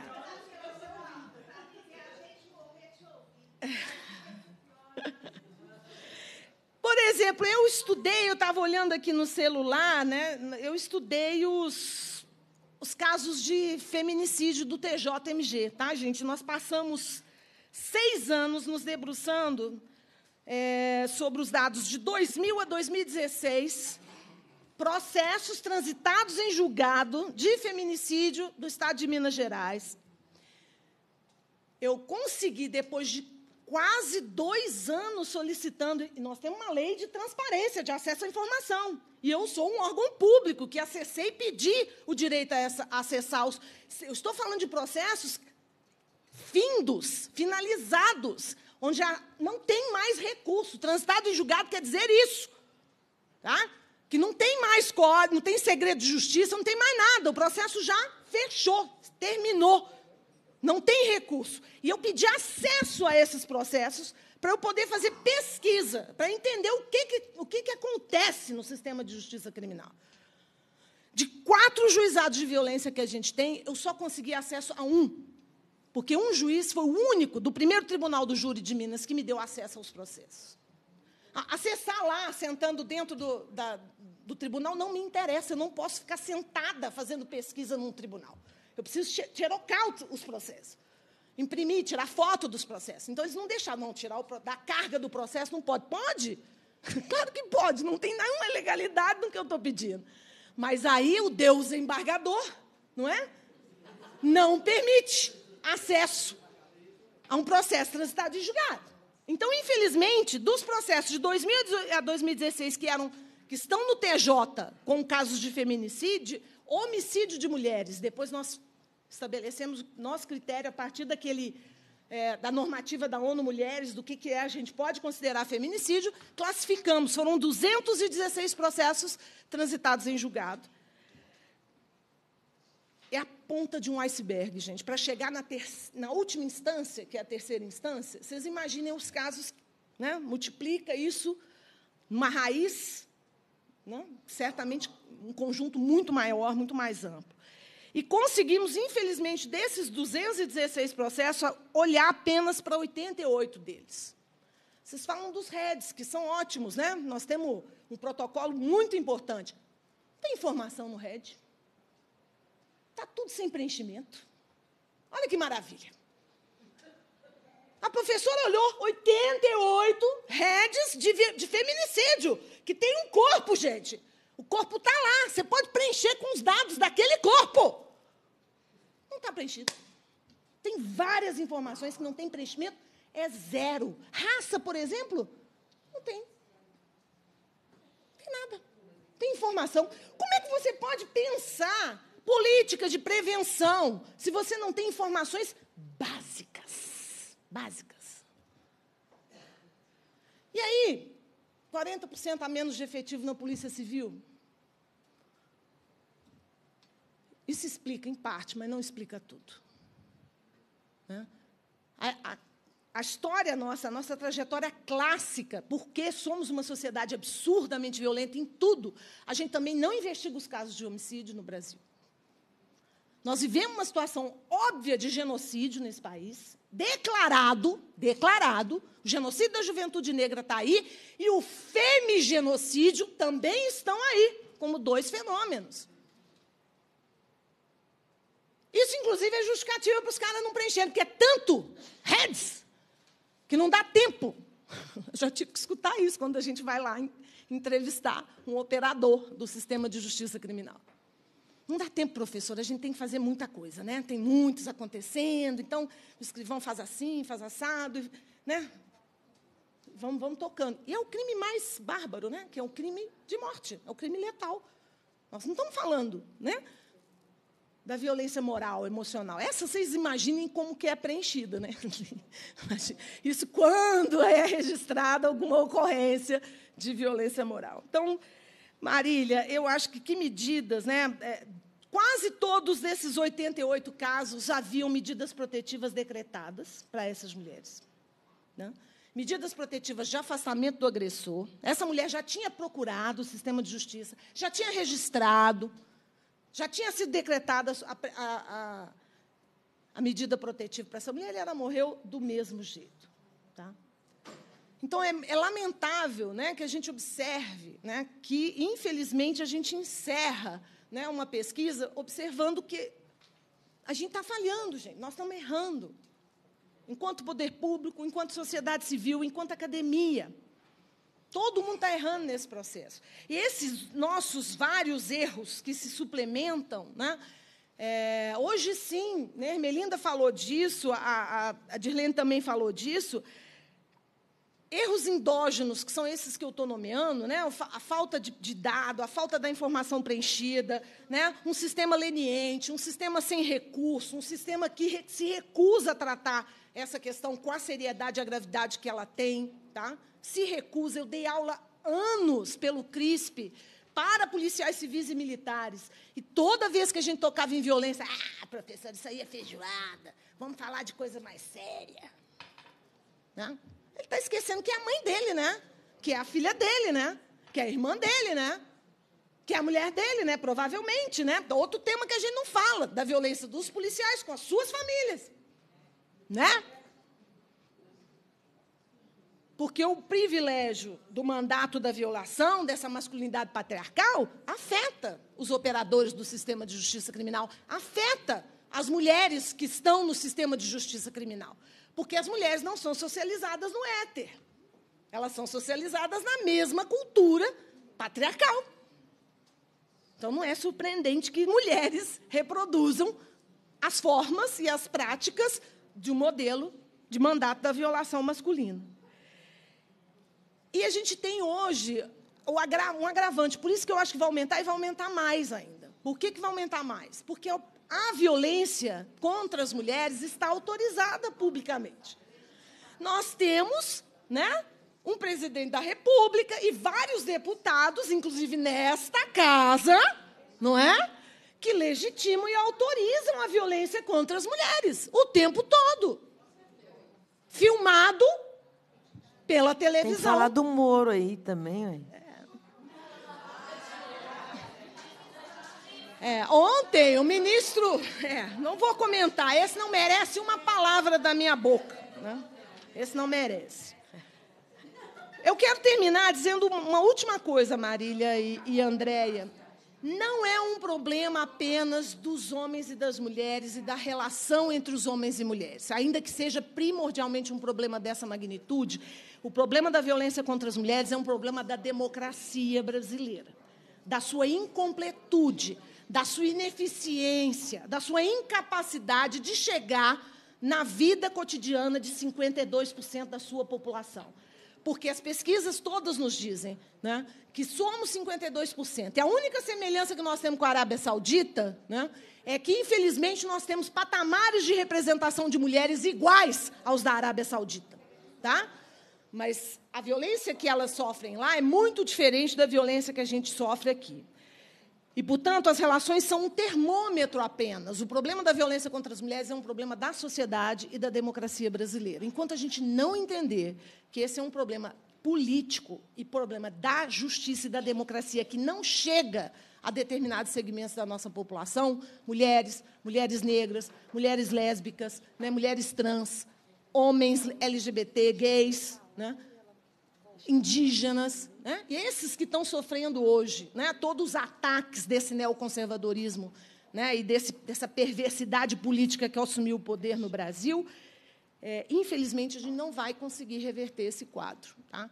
A gente realmente hoje está vivendo a, a, o recrudescimento desse modelo de uma sociedade bélica, de masculinidades agressivas e violentas, que hoje estão na ponta de lança, assumindo a presidência da República e todos os cargos mais importantes da nação. Então, isso está autorizado publicamente e vai piorar. Eu não trago boas novas. Tá? O problema não é das mulheres, não é dos homens, não é da relação entre os homens, é um problema da sociedade brasileira, é um problema político, um problema da nossa democracia. Obrigada. Obrigada, Marlise. A doutora Ingrid está pedindo um espaço é, para fazer o esclarecimento da sua fala? Sim, doutora. Só peço para ser sucinta. Marlise, só para esclarecer, eu disse não se muda em uma década ou em duas toda uma cultura secular de violência contra a mulher, que foi o que a senhora mesmo disse, tem 30 anos que a senhora está à frente disso e até a presente data é difícil de ser ouvido. Então, só para esclarecer, foi o que eu disse. Obrigada. Obrigada, doutora Ingrid. E agora, para a gente. Major, o senhor quer esclarecer também? Rapidamente, Major. Eu acho que o debate ele é, é salutar, né? E é, e é, nesses momentos de debate que a gente tem a oportunidade de explicar, esclarecer. E, e eu não poderia deixar de falar depois do que a doutora Marlise no, né, acabou nos é, falando a respeito da nossa instituição, eu acho que é interessante a gente explicar. Quando eu apresentei os dados de um número de 32 mil, 32 mil visitas e que apenas 7 mil foram incluídas, é porque a Polícia Militar ela tem uma lei, ela atua com base na lei, é uma, é instituição legalista, eu só posso fazer o que a lei nos permite fazer. É, então, o que, que a lei nos permite fazer com base na Lei 11.340, que é a Lei Maria da Penha? A ação pública ela é condicionada. O que, que isso significa? Significa, significa, significa, depois a senhora, né, a senhora perde lá. Né? É, Mas vamos ser sintéticos, Major. Então, não, eu, eu acabei sendo interrompido, então, é, tá bom. O que quer dizer isso? Antigamente, numa briga de marido e mulher, vou, vou sintetizar, não, né? é, o policial militar ele poderia chegar no local e encerrar a ocorrência. Não, não faça isso. A partir da Lei 11.340, a Polícia Militar não pode fazer mais isso. Tem que fazer a ocorrência e encaminhar para a delegacia para as demais providências. Quando a gente fala do serviço da prevenção à violência doméstica, é um serviço que vem contribuir com as mulheres. Ela não é obrigada a aceitar. E eu não posso obrigá-la a receber um serviço que ela não quer. Como que eu vou visitá-la num serviço, na casa dela, sem que ela tenha esse, essa aceitação? Então, infelizmente, é uma questão legal. Aceitem ou não, mas a gente tem que seguir o que a lei determina para nós. Então, não tem como. Quando a senhora Conclui, fala sobre o, o REDS, o REDS, realmente, eu tenho que é, falar francamente que a Polícia Militar ela tem um dever de casa. E a gente sabe disso e é por isso que eu, como eu disse aqui, eu, eu estava na, é, seguindo né, a deputada nas visitas que ela fazia, porque eu li 200 ocorrências de violência doméstica em que os policiais não, não preencheram conforme a nossa instrução que regula. Lembra que eu falei que tinha um primeiro protocolo de atendimento, que ele tem que registrar aquilo na ocorrência? Nós temos um dever de casa, estamos cientes de que a gente precisa melhorar e avançar nesse cenário. Expedimos recentemente um memorando, justamente alertando a toda instituição de que essa ocorrência de violência doméstica, ela precisa de ser complementada essas informações. Temos esse dever de casa e esse compromisso para melhoria tanto dos trabalhos da Polícia Civil, Ministério Público e da Justiça. Então, esse é um dever que a Polícia Militar tem ciência e que a gente precisa melhorar. Obrigada, Major. Nós não podemos fazer o debate aqui, mas eu acho que a gente tem várias indagações, questões. Nós teremos, na, oportunidade que a gente for discutir os relatórios e voltar a esse debate, nós poderemos aprofundar. Eu tenho até uma proposta para vocês, mas guardo para o momento adequado e peço à deputada Andréia, aliás, conceda a palavra à deputada Andréia para fazer as suas considerações. Boa tarde, mulheres. Salve, salve aí as resistentes que ainda continuam acompanhando a audiência. Agradecer pela presença. É, também não não poderia deixar de também agradecer a Marília Campos por ter aberto espaços para que as mulheres pudessem vir nessa casa legitimamente falar de política para as mulheres. E é disso que nós estamos falando. Né? É... Eu acredito, eu acredito no ser humano. Né? E por isso, historicamente, eu venho me construindo nos, nas políticas, na, nos movimentos sociais, acreditando que o Estado vai se espelhar nessa luta cotidiana das ruas para também dar respostas institucionais para os problemas que a gente enfrenta, né? Mas eu, mais do que isso, eu acredito que tudo que eu fiz até hoje valeu a pena. Chegar nessa casa e saber que pela primeira vez tem mulheres negras sentando nessa casa é fruto dessa luta dessas mulheres que me antecederam. É, então, é, eu não, não vou entregar. Essa lógica do medo, desse cenário que nos coloca nessa, nessa política do medo, nessa política do encarceramento, do silenciamento, não vai me silenciar e não vai me impedir de continuar acreditando que outras mulheres vão ocupar esse lugar e que, de fato, é, esse dano secular, que para mim ainda é mais forte, o racismo, é, fruto dessa escravização, que ele será superado pelas próximas que virão, que vão continuar nessa luta. Então, assim, eu, eu quero muito, Marlise, que você continue orientando a gente lá na partida, aqui nos espaços acadêmicos. Você fez muito disso é, na educação lá em Ribeirão das Neves. Seu apoio fez diferença para as professoras, para uma leitura da importância do papel também da educação institucional, que não só, eu não acredito só na educação institucional, mas é um espaço importante, mas eu ainda sinto falta é, de combater ou de enfrentar uma cegueira que é o debate racial, que é, é, é transversal nas políticas públicas. O debate racial ele ainda está muito é, invisibilizado nos órgãos públicos e nessa casa também. É impossível hoje, com os dados trazidos pela Polícia Civil, pela Polícia Militar, pelas entidades hoje que estudaram, as, os órgãos que trouxeram dados importantes e que ficam meio à margem nós estamos falando de 13 anos da Lei Maria da Penha e que o número de é, homicídios ou de violência contra as mulheres brancas caiu. É um número 10%, 9, é pouco, mas caiu. Mas entre as mulheres negras, dobrou. O que nós precisamos nesse momento é investigar a partir desses dados. Quem são essas mulheres em que a Lei Maria da Penha não alcança? E aí, dizer que, de fato, Marlise, a democracia não nos alcançou. E que essa casa também não reverbera a democracia enquanto nós somos minoria nesse espaço. Enquanto as nossas lutas precisam, é, precisam ser gritadas, vocalizadas, mas o, nem os números trazidos pelas mulheres brancas servem para esse olhar sensível para um grupo que não consegue estar aqui nessa tarde. Porque elas ainda estão no trabalho informal. Ou muitas delas estão lá no camelô, no meio da rua ali. Ali mesmo ela dorme para trabalhar no outro dia.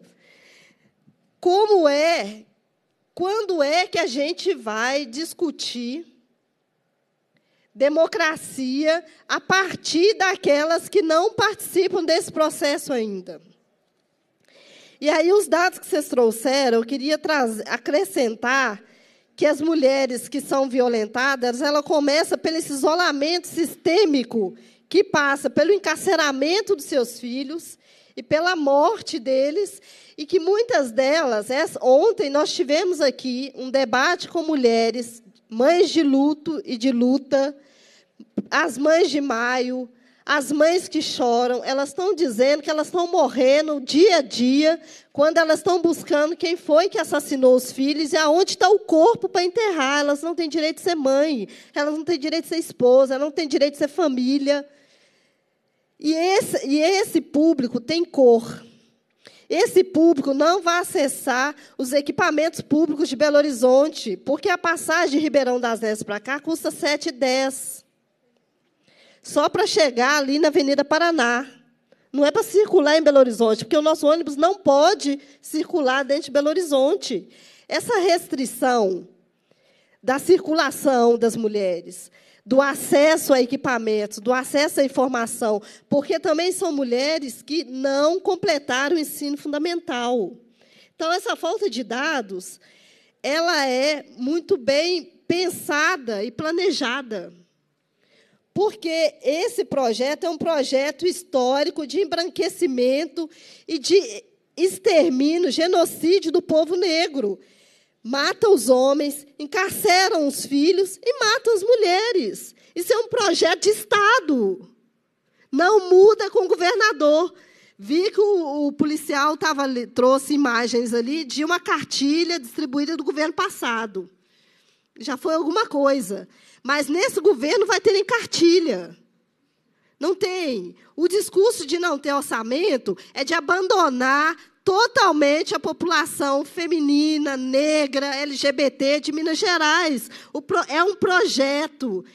É um projeto para privatizar, mais do que já privatizou a vida das mulheres. Estava o Sebrae aqui falando do número de mulheres endividadas, com essa lógica do empre empreendedorismo, que joga na mão dela a responsabilidade de dar conta do mercado.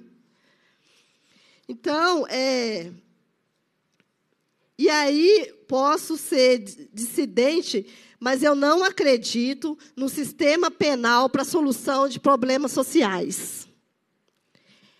Eu acredito na justiça de transição. Mas os territórios que eu atuo, porque eu não saí, eu não caí de paraquedas na política, eu me construí em territórios de resistência. Nenhuma patrulha é bem-vinda naquele lugar. Porque tem outros problemas sociais que precisam ser resolvidos nesse território. E aí eu estou trazendo mais elementos para o debate, porque todos esses elementos estão associados à condição racial desse sujeito e da, raci, da, raci, e da forma como o Estado mantém esses grupos como subgrupos, subhumanos. É, e superar tudo isso passa, sim, pela educação. A educação não é só a educação que o Estado oferece, porque é uma educação controlada, que controla corpos, que controla a vida, não reconhece é, a especificidade dos negros, a história que o negro traz. É importante entender que toda a nossa ancestralidade é matada dentro desses ambientes institucionais, que começa matando na escola e termina dentro do sistema prisional que passa pelo manicômio. Esse projeto ele está instalado em vários órgãos e a gente tem que discutir isso. As delegacias são racistas, as escolas são racistas, reproduzem esse racismo. E como que a gente faz essa autocrítica? Nós precisamos de política pública, sim. Eu acredito no Estado, e o Estado tem o dever de garantir que essas mulheres hoje, que não vão direto para a delegacia denunciar, porque as mulheres que vivem aglomerado, e eu continuo repetindo isso aqui na casa, as mulheres que vivem nos aglomerados, a primeira entrada é nos nos equipamentos de assistência social. É lá que elas conseguem desabafar. Até transformar isso numa denúncia para chegar numa delegacia, ela passa por um atendimento primário, que é o governador Zema quer privatizar. O atendimento primário, que é lá o posto de saúde, que faz prevenção, elas passam ali. E, por último, é o sistema de justiça. Elas têm todo um trabalho de, de cuidado, de valorização, de erguer, de erguer esse sujeito que já perdeu a sua humanidade para chegar no sistema de segurança. Então, para mim, é, Precisamos fortalecer várias políticas e continuar brigando por elas. Uma delas que eu acredito muito é o processo da educação, que passa pelo sistema EJA, extremamente perseguido. Ele é, sim, uma forma de reparação, de ação afirmativas. Na EJA, as mulheres precisam de creche. Então, a creche não é só para atender o mercado ou para atender é, para as mulheres ser burro de carga de empresas. Elas precisam da creche, inclusive, para se cuidar e cuidar umas das outras, se formar profissionalmente. Então, garantir EJA com creche já seria uma política de grande avanço. Nós estamos falando de mulheres que ainda são semi-analfabetas. E que, para elas entender o sistema de justiça, não é só traduzir. Não é só humanizar os policiais ou a delegacia elas precisam ter informação mínima. E aí começa assim por ela, por essa construção territorial que passa por várias outras políticas. E para finalizar, nós é, essa, esse debate é, nós fizemos uma pesquisa desde 1 de outubro de 1937, a deputada Berta Lutz, ela discute o Estatuto da Mulher desde 1937, é, combatendo essa ideia de que os homens agem por, por violenta paixão ou violenta emoção, que agora traduziu com essa frase é, doentia e equivocada do ministro de Justiça. Mais uma vez, a minha crítica ao sistema de justiça. O ministro de Justiça do nosso país resgata isso novamente com esse discurso de que os homens agem sobre motivado por violenta emoção. Então, nós estamos nesse momento também de é, voltar a, a, a fazer o letramento E aí eu percebo que, mesmo com as delegacias que hoje não atendem, gente, 7% no, no estado que tem 853 municípios. Quantas horas uma mulher precisa viajar para chegar numa delegacia? E nós estamos dizendo num cenário que não vai ampliar. E aí eu queria até deixar a pergunta aqui para a Polícia Civil, se tem um indicativo de aumento de delegacias ou de atendimento de núcleos, como que vai ser, e qual que é o orçamento que a patrulha hoje tem para ampliar o serviço que elas prestam, porque nós estamos falando de um sistema de transição. Né? Não acredito que o sistema penal vai resolver, muito pelo contrário. Né? O sistema penal é extremamente seletivo. O discurso para prender é para exterminar a população negra. Eu não entendi, mas eu vou, eu vou finalizar. Ah, tá. Tá, nós vamos falar. Tá, você tá, só está escrito, vai estar tá aberto, né? Ah.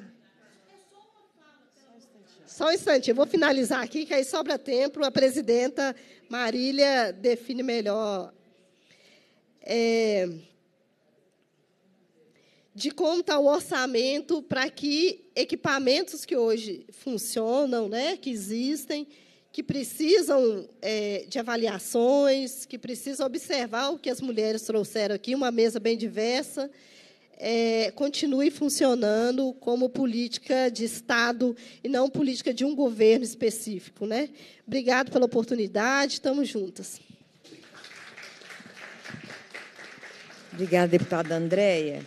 Eu pedi ao doutor é, Ivan, né?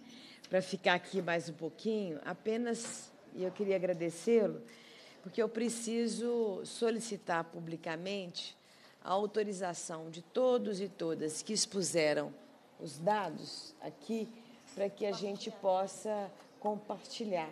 Então, eu queria autorização, se não houver nenhum impedimento, dos dados que vocês apresentaram aqui. Está ok?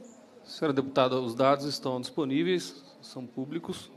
Uh, e a Polícia Civil né, está à disposição para fornecer as informações que o povo de Minas Gerais desejar.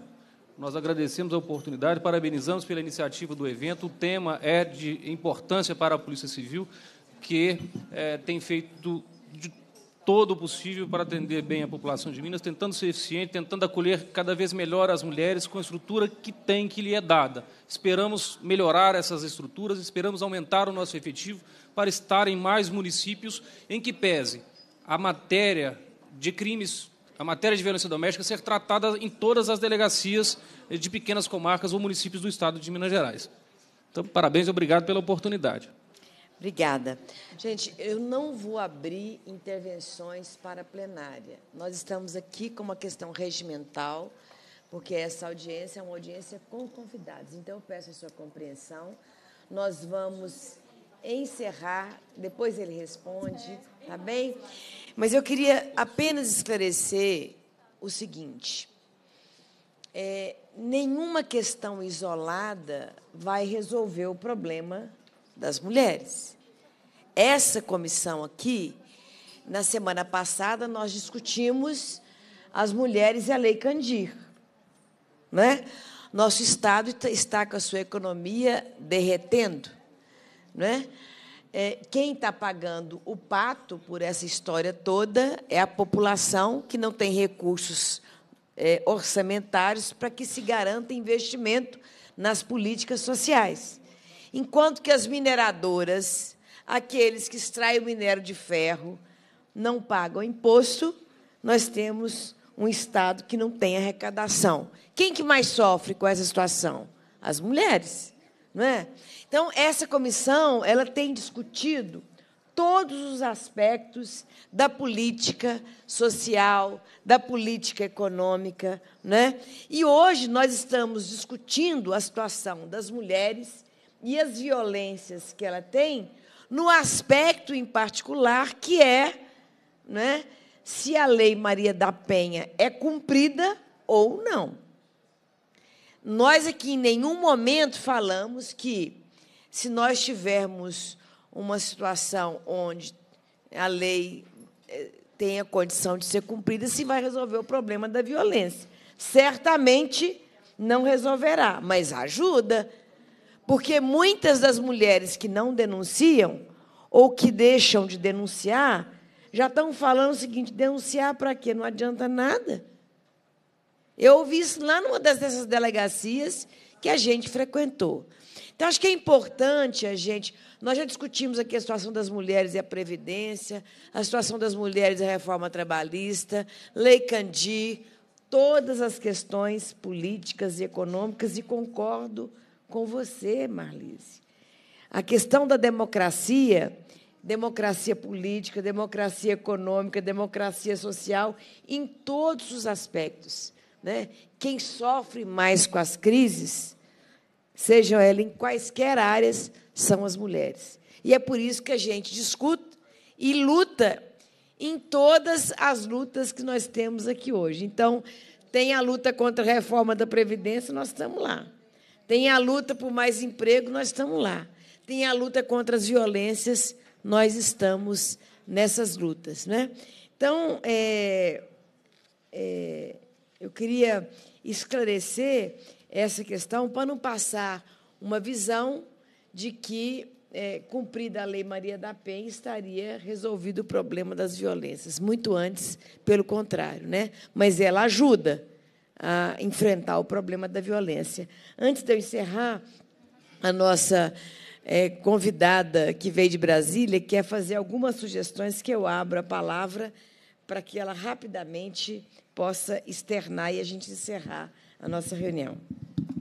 Gente, desculpa, é, acabou que não, não coloquei isso na apresentação, mas eram alguns desafios né, que a gente tem. É, criação e implementação de políticas públicas específicas para as mulheres mais vulneráveis, nesse caso, as mulheres mais negras, cujo índice de taxa de homicídio é muito maior que, a, que das não negras, fortalecimento das redes de atendimento e apoio às pessoas em situação de violência, processos mais céleres e atendimentos humanizados e acessíveis, capacitação dos atores e operadores das políticas e dos atendimentos às mulheres em situação de violência e mais investimento em educação e prevenção. Obrigada, é, Crislane. E aproveitando para informar que em outubro todos os secretários e secretárias do governo do Estado é, ter, vão ser convocados para, mais uma vez, participar do Assembleia Fiscaliza. Antigamente, em outubro, antigamente o secretário era convidado. Só que nós aprovamos uma lei onde os secretários e secretárias são convocados. Então, nós aqui que estamos lutando por políticas públicas na educação, na saúde, na segurança, temos a obrigação de estar aqui para cobrar. Né? Então, é, nós ouviremos certamente segurança pública, educação, e estaremos cobrando orçamento e execução orçamentária nas políticas que a gente defende.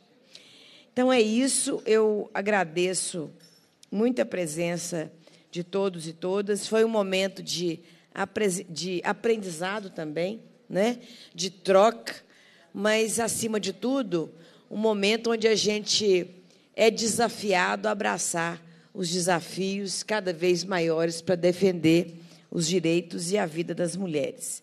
Cumprida a finalidade da reunião, a presidência agradece a presença dos parlamentares, convida todos e todas que estão aqui para uma visita técnica que faremos amanhã na maternidade Leonina.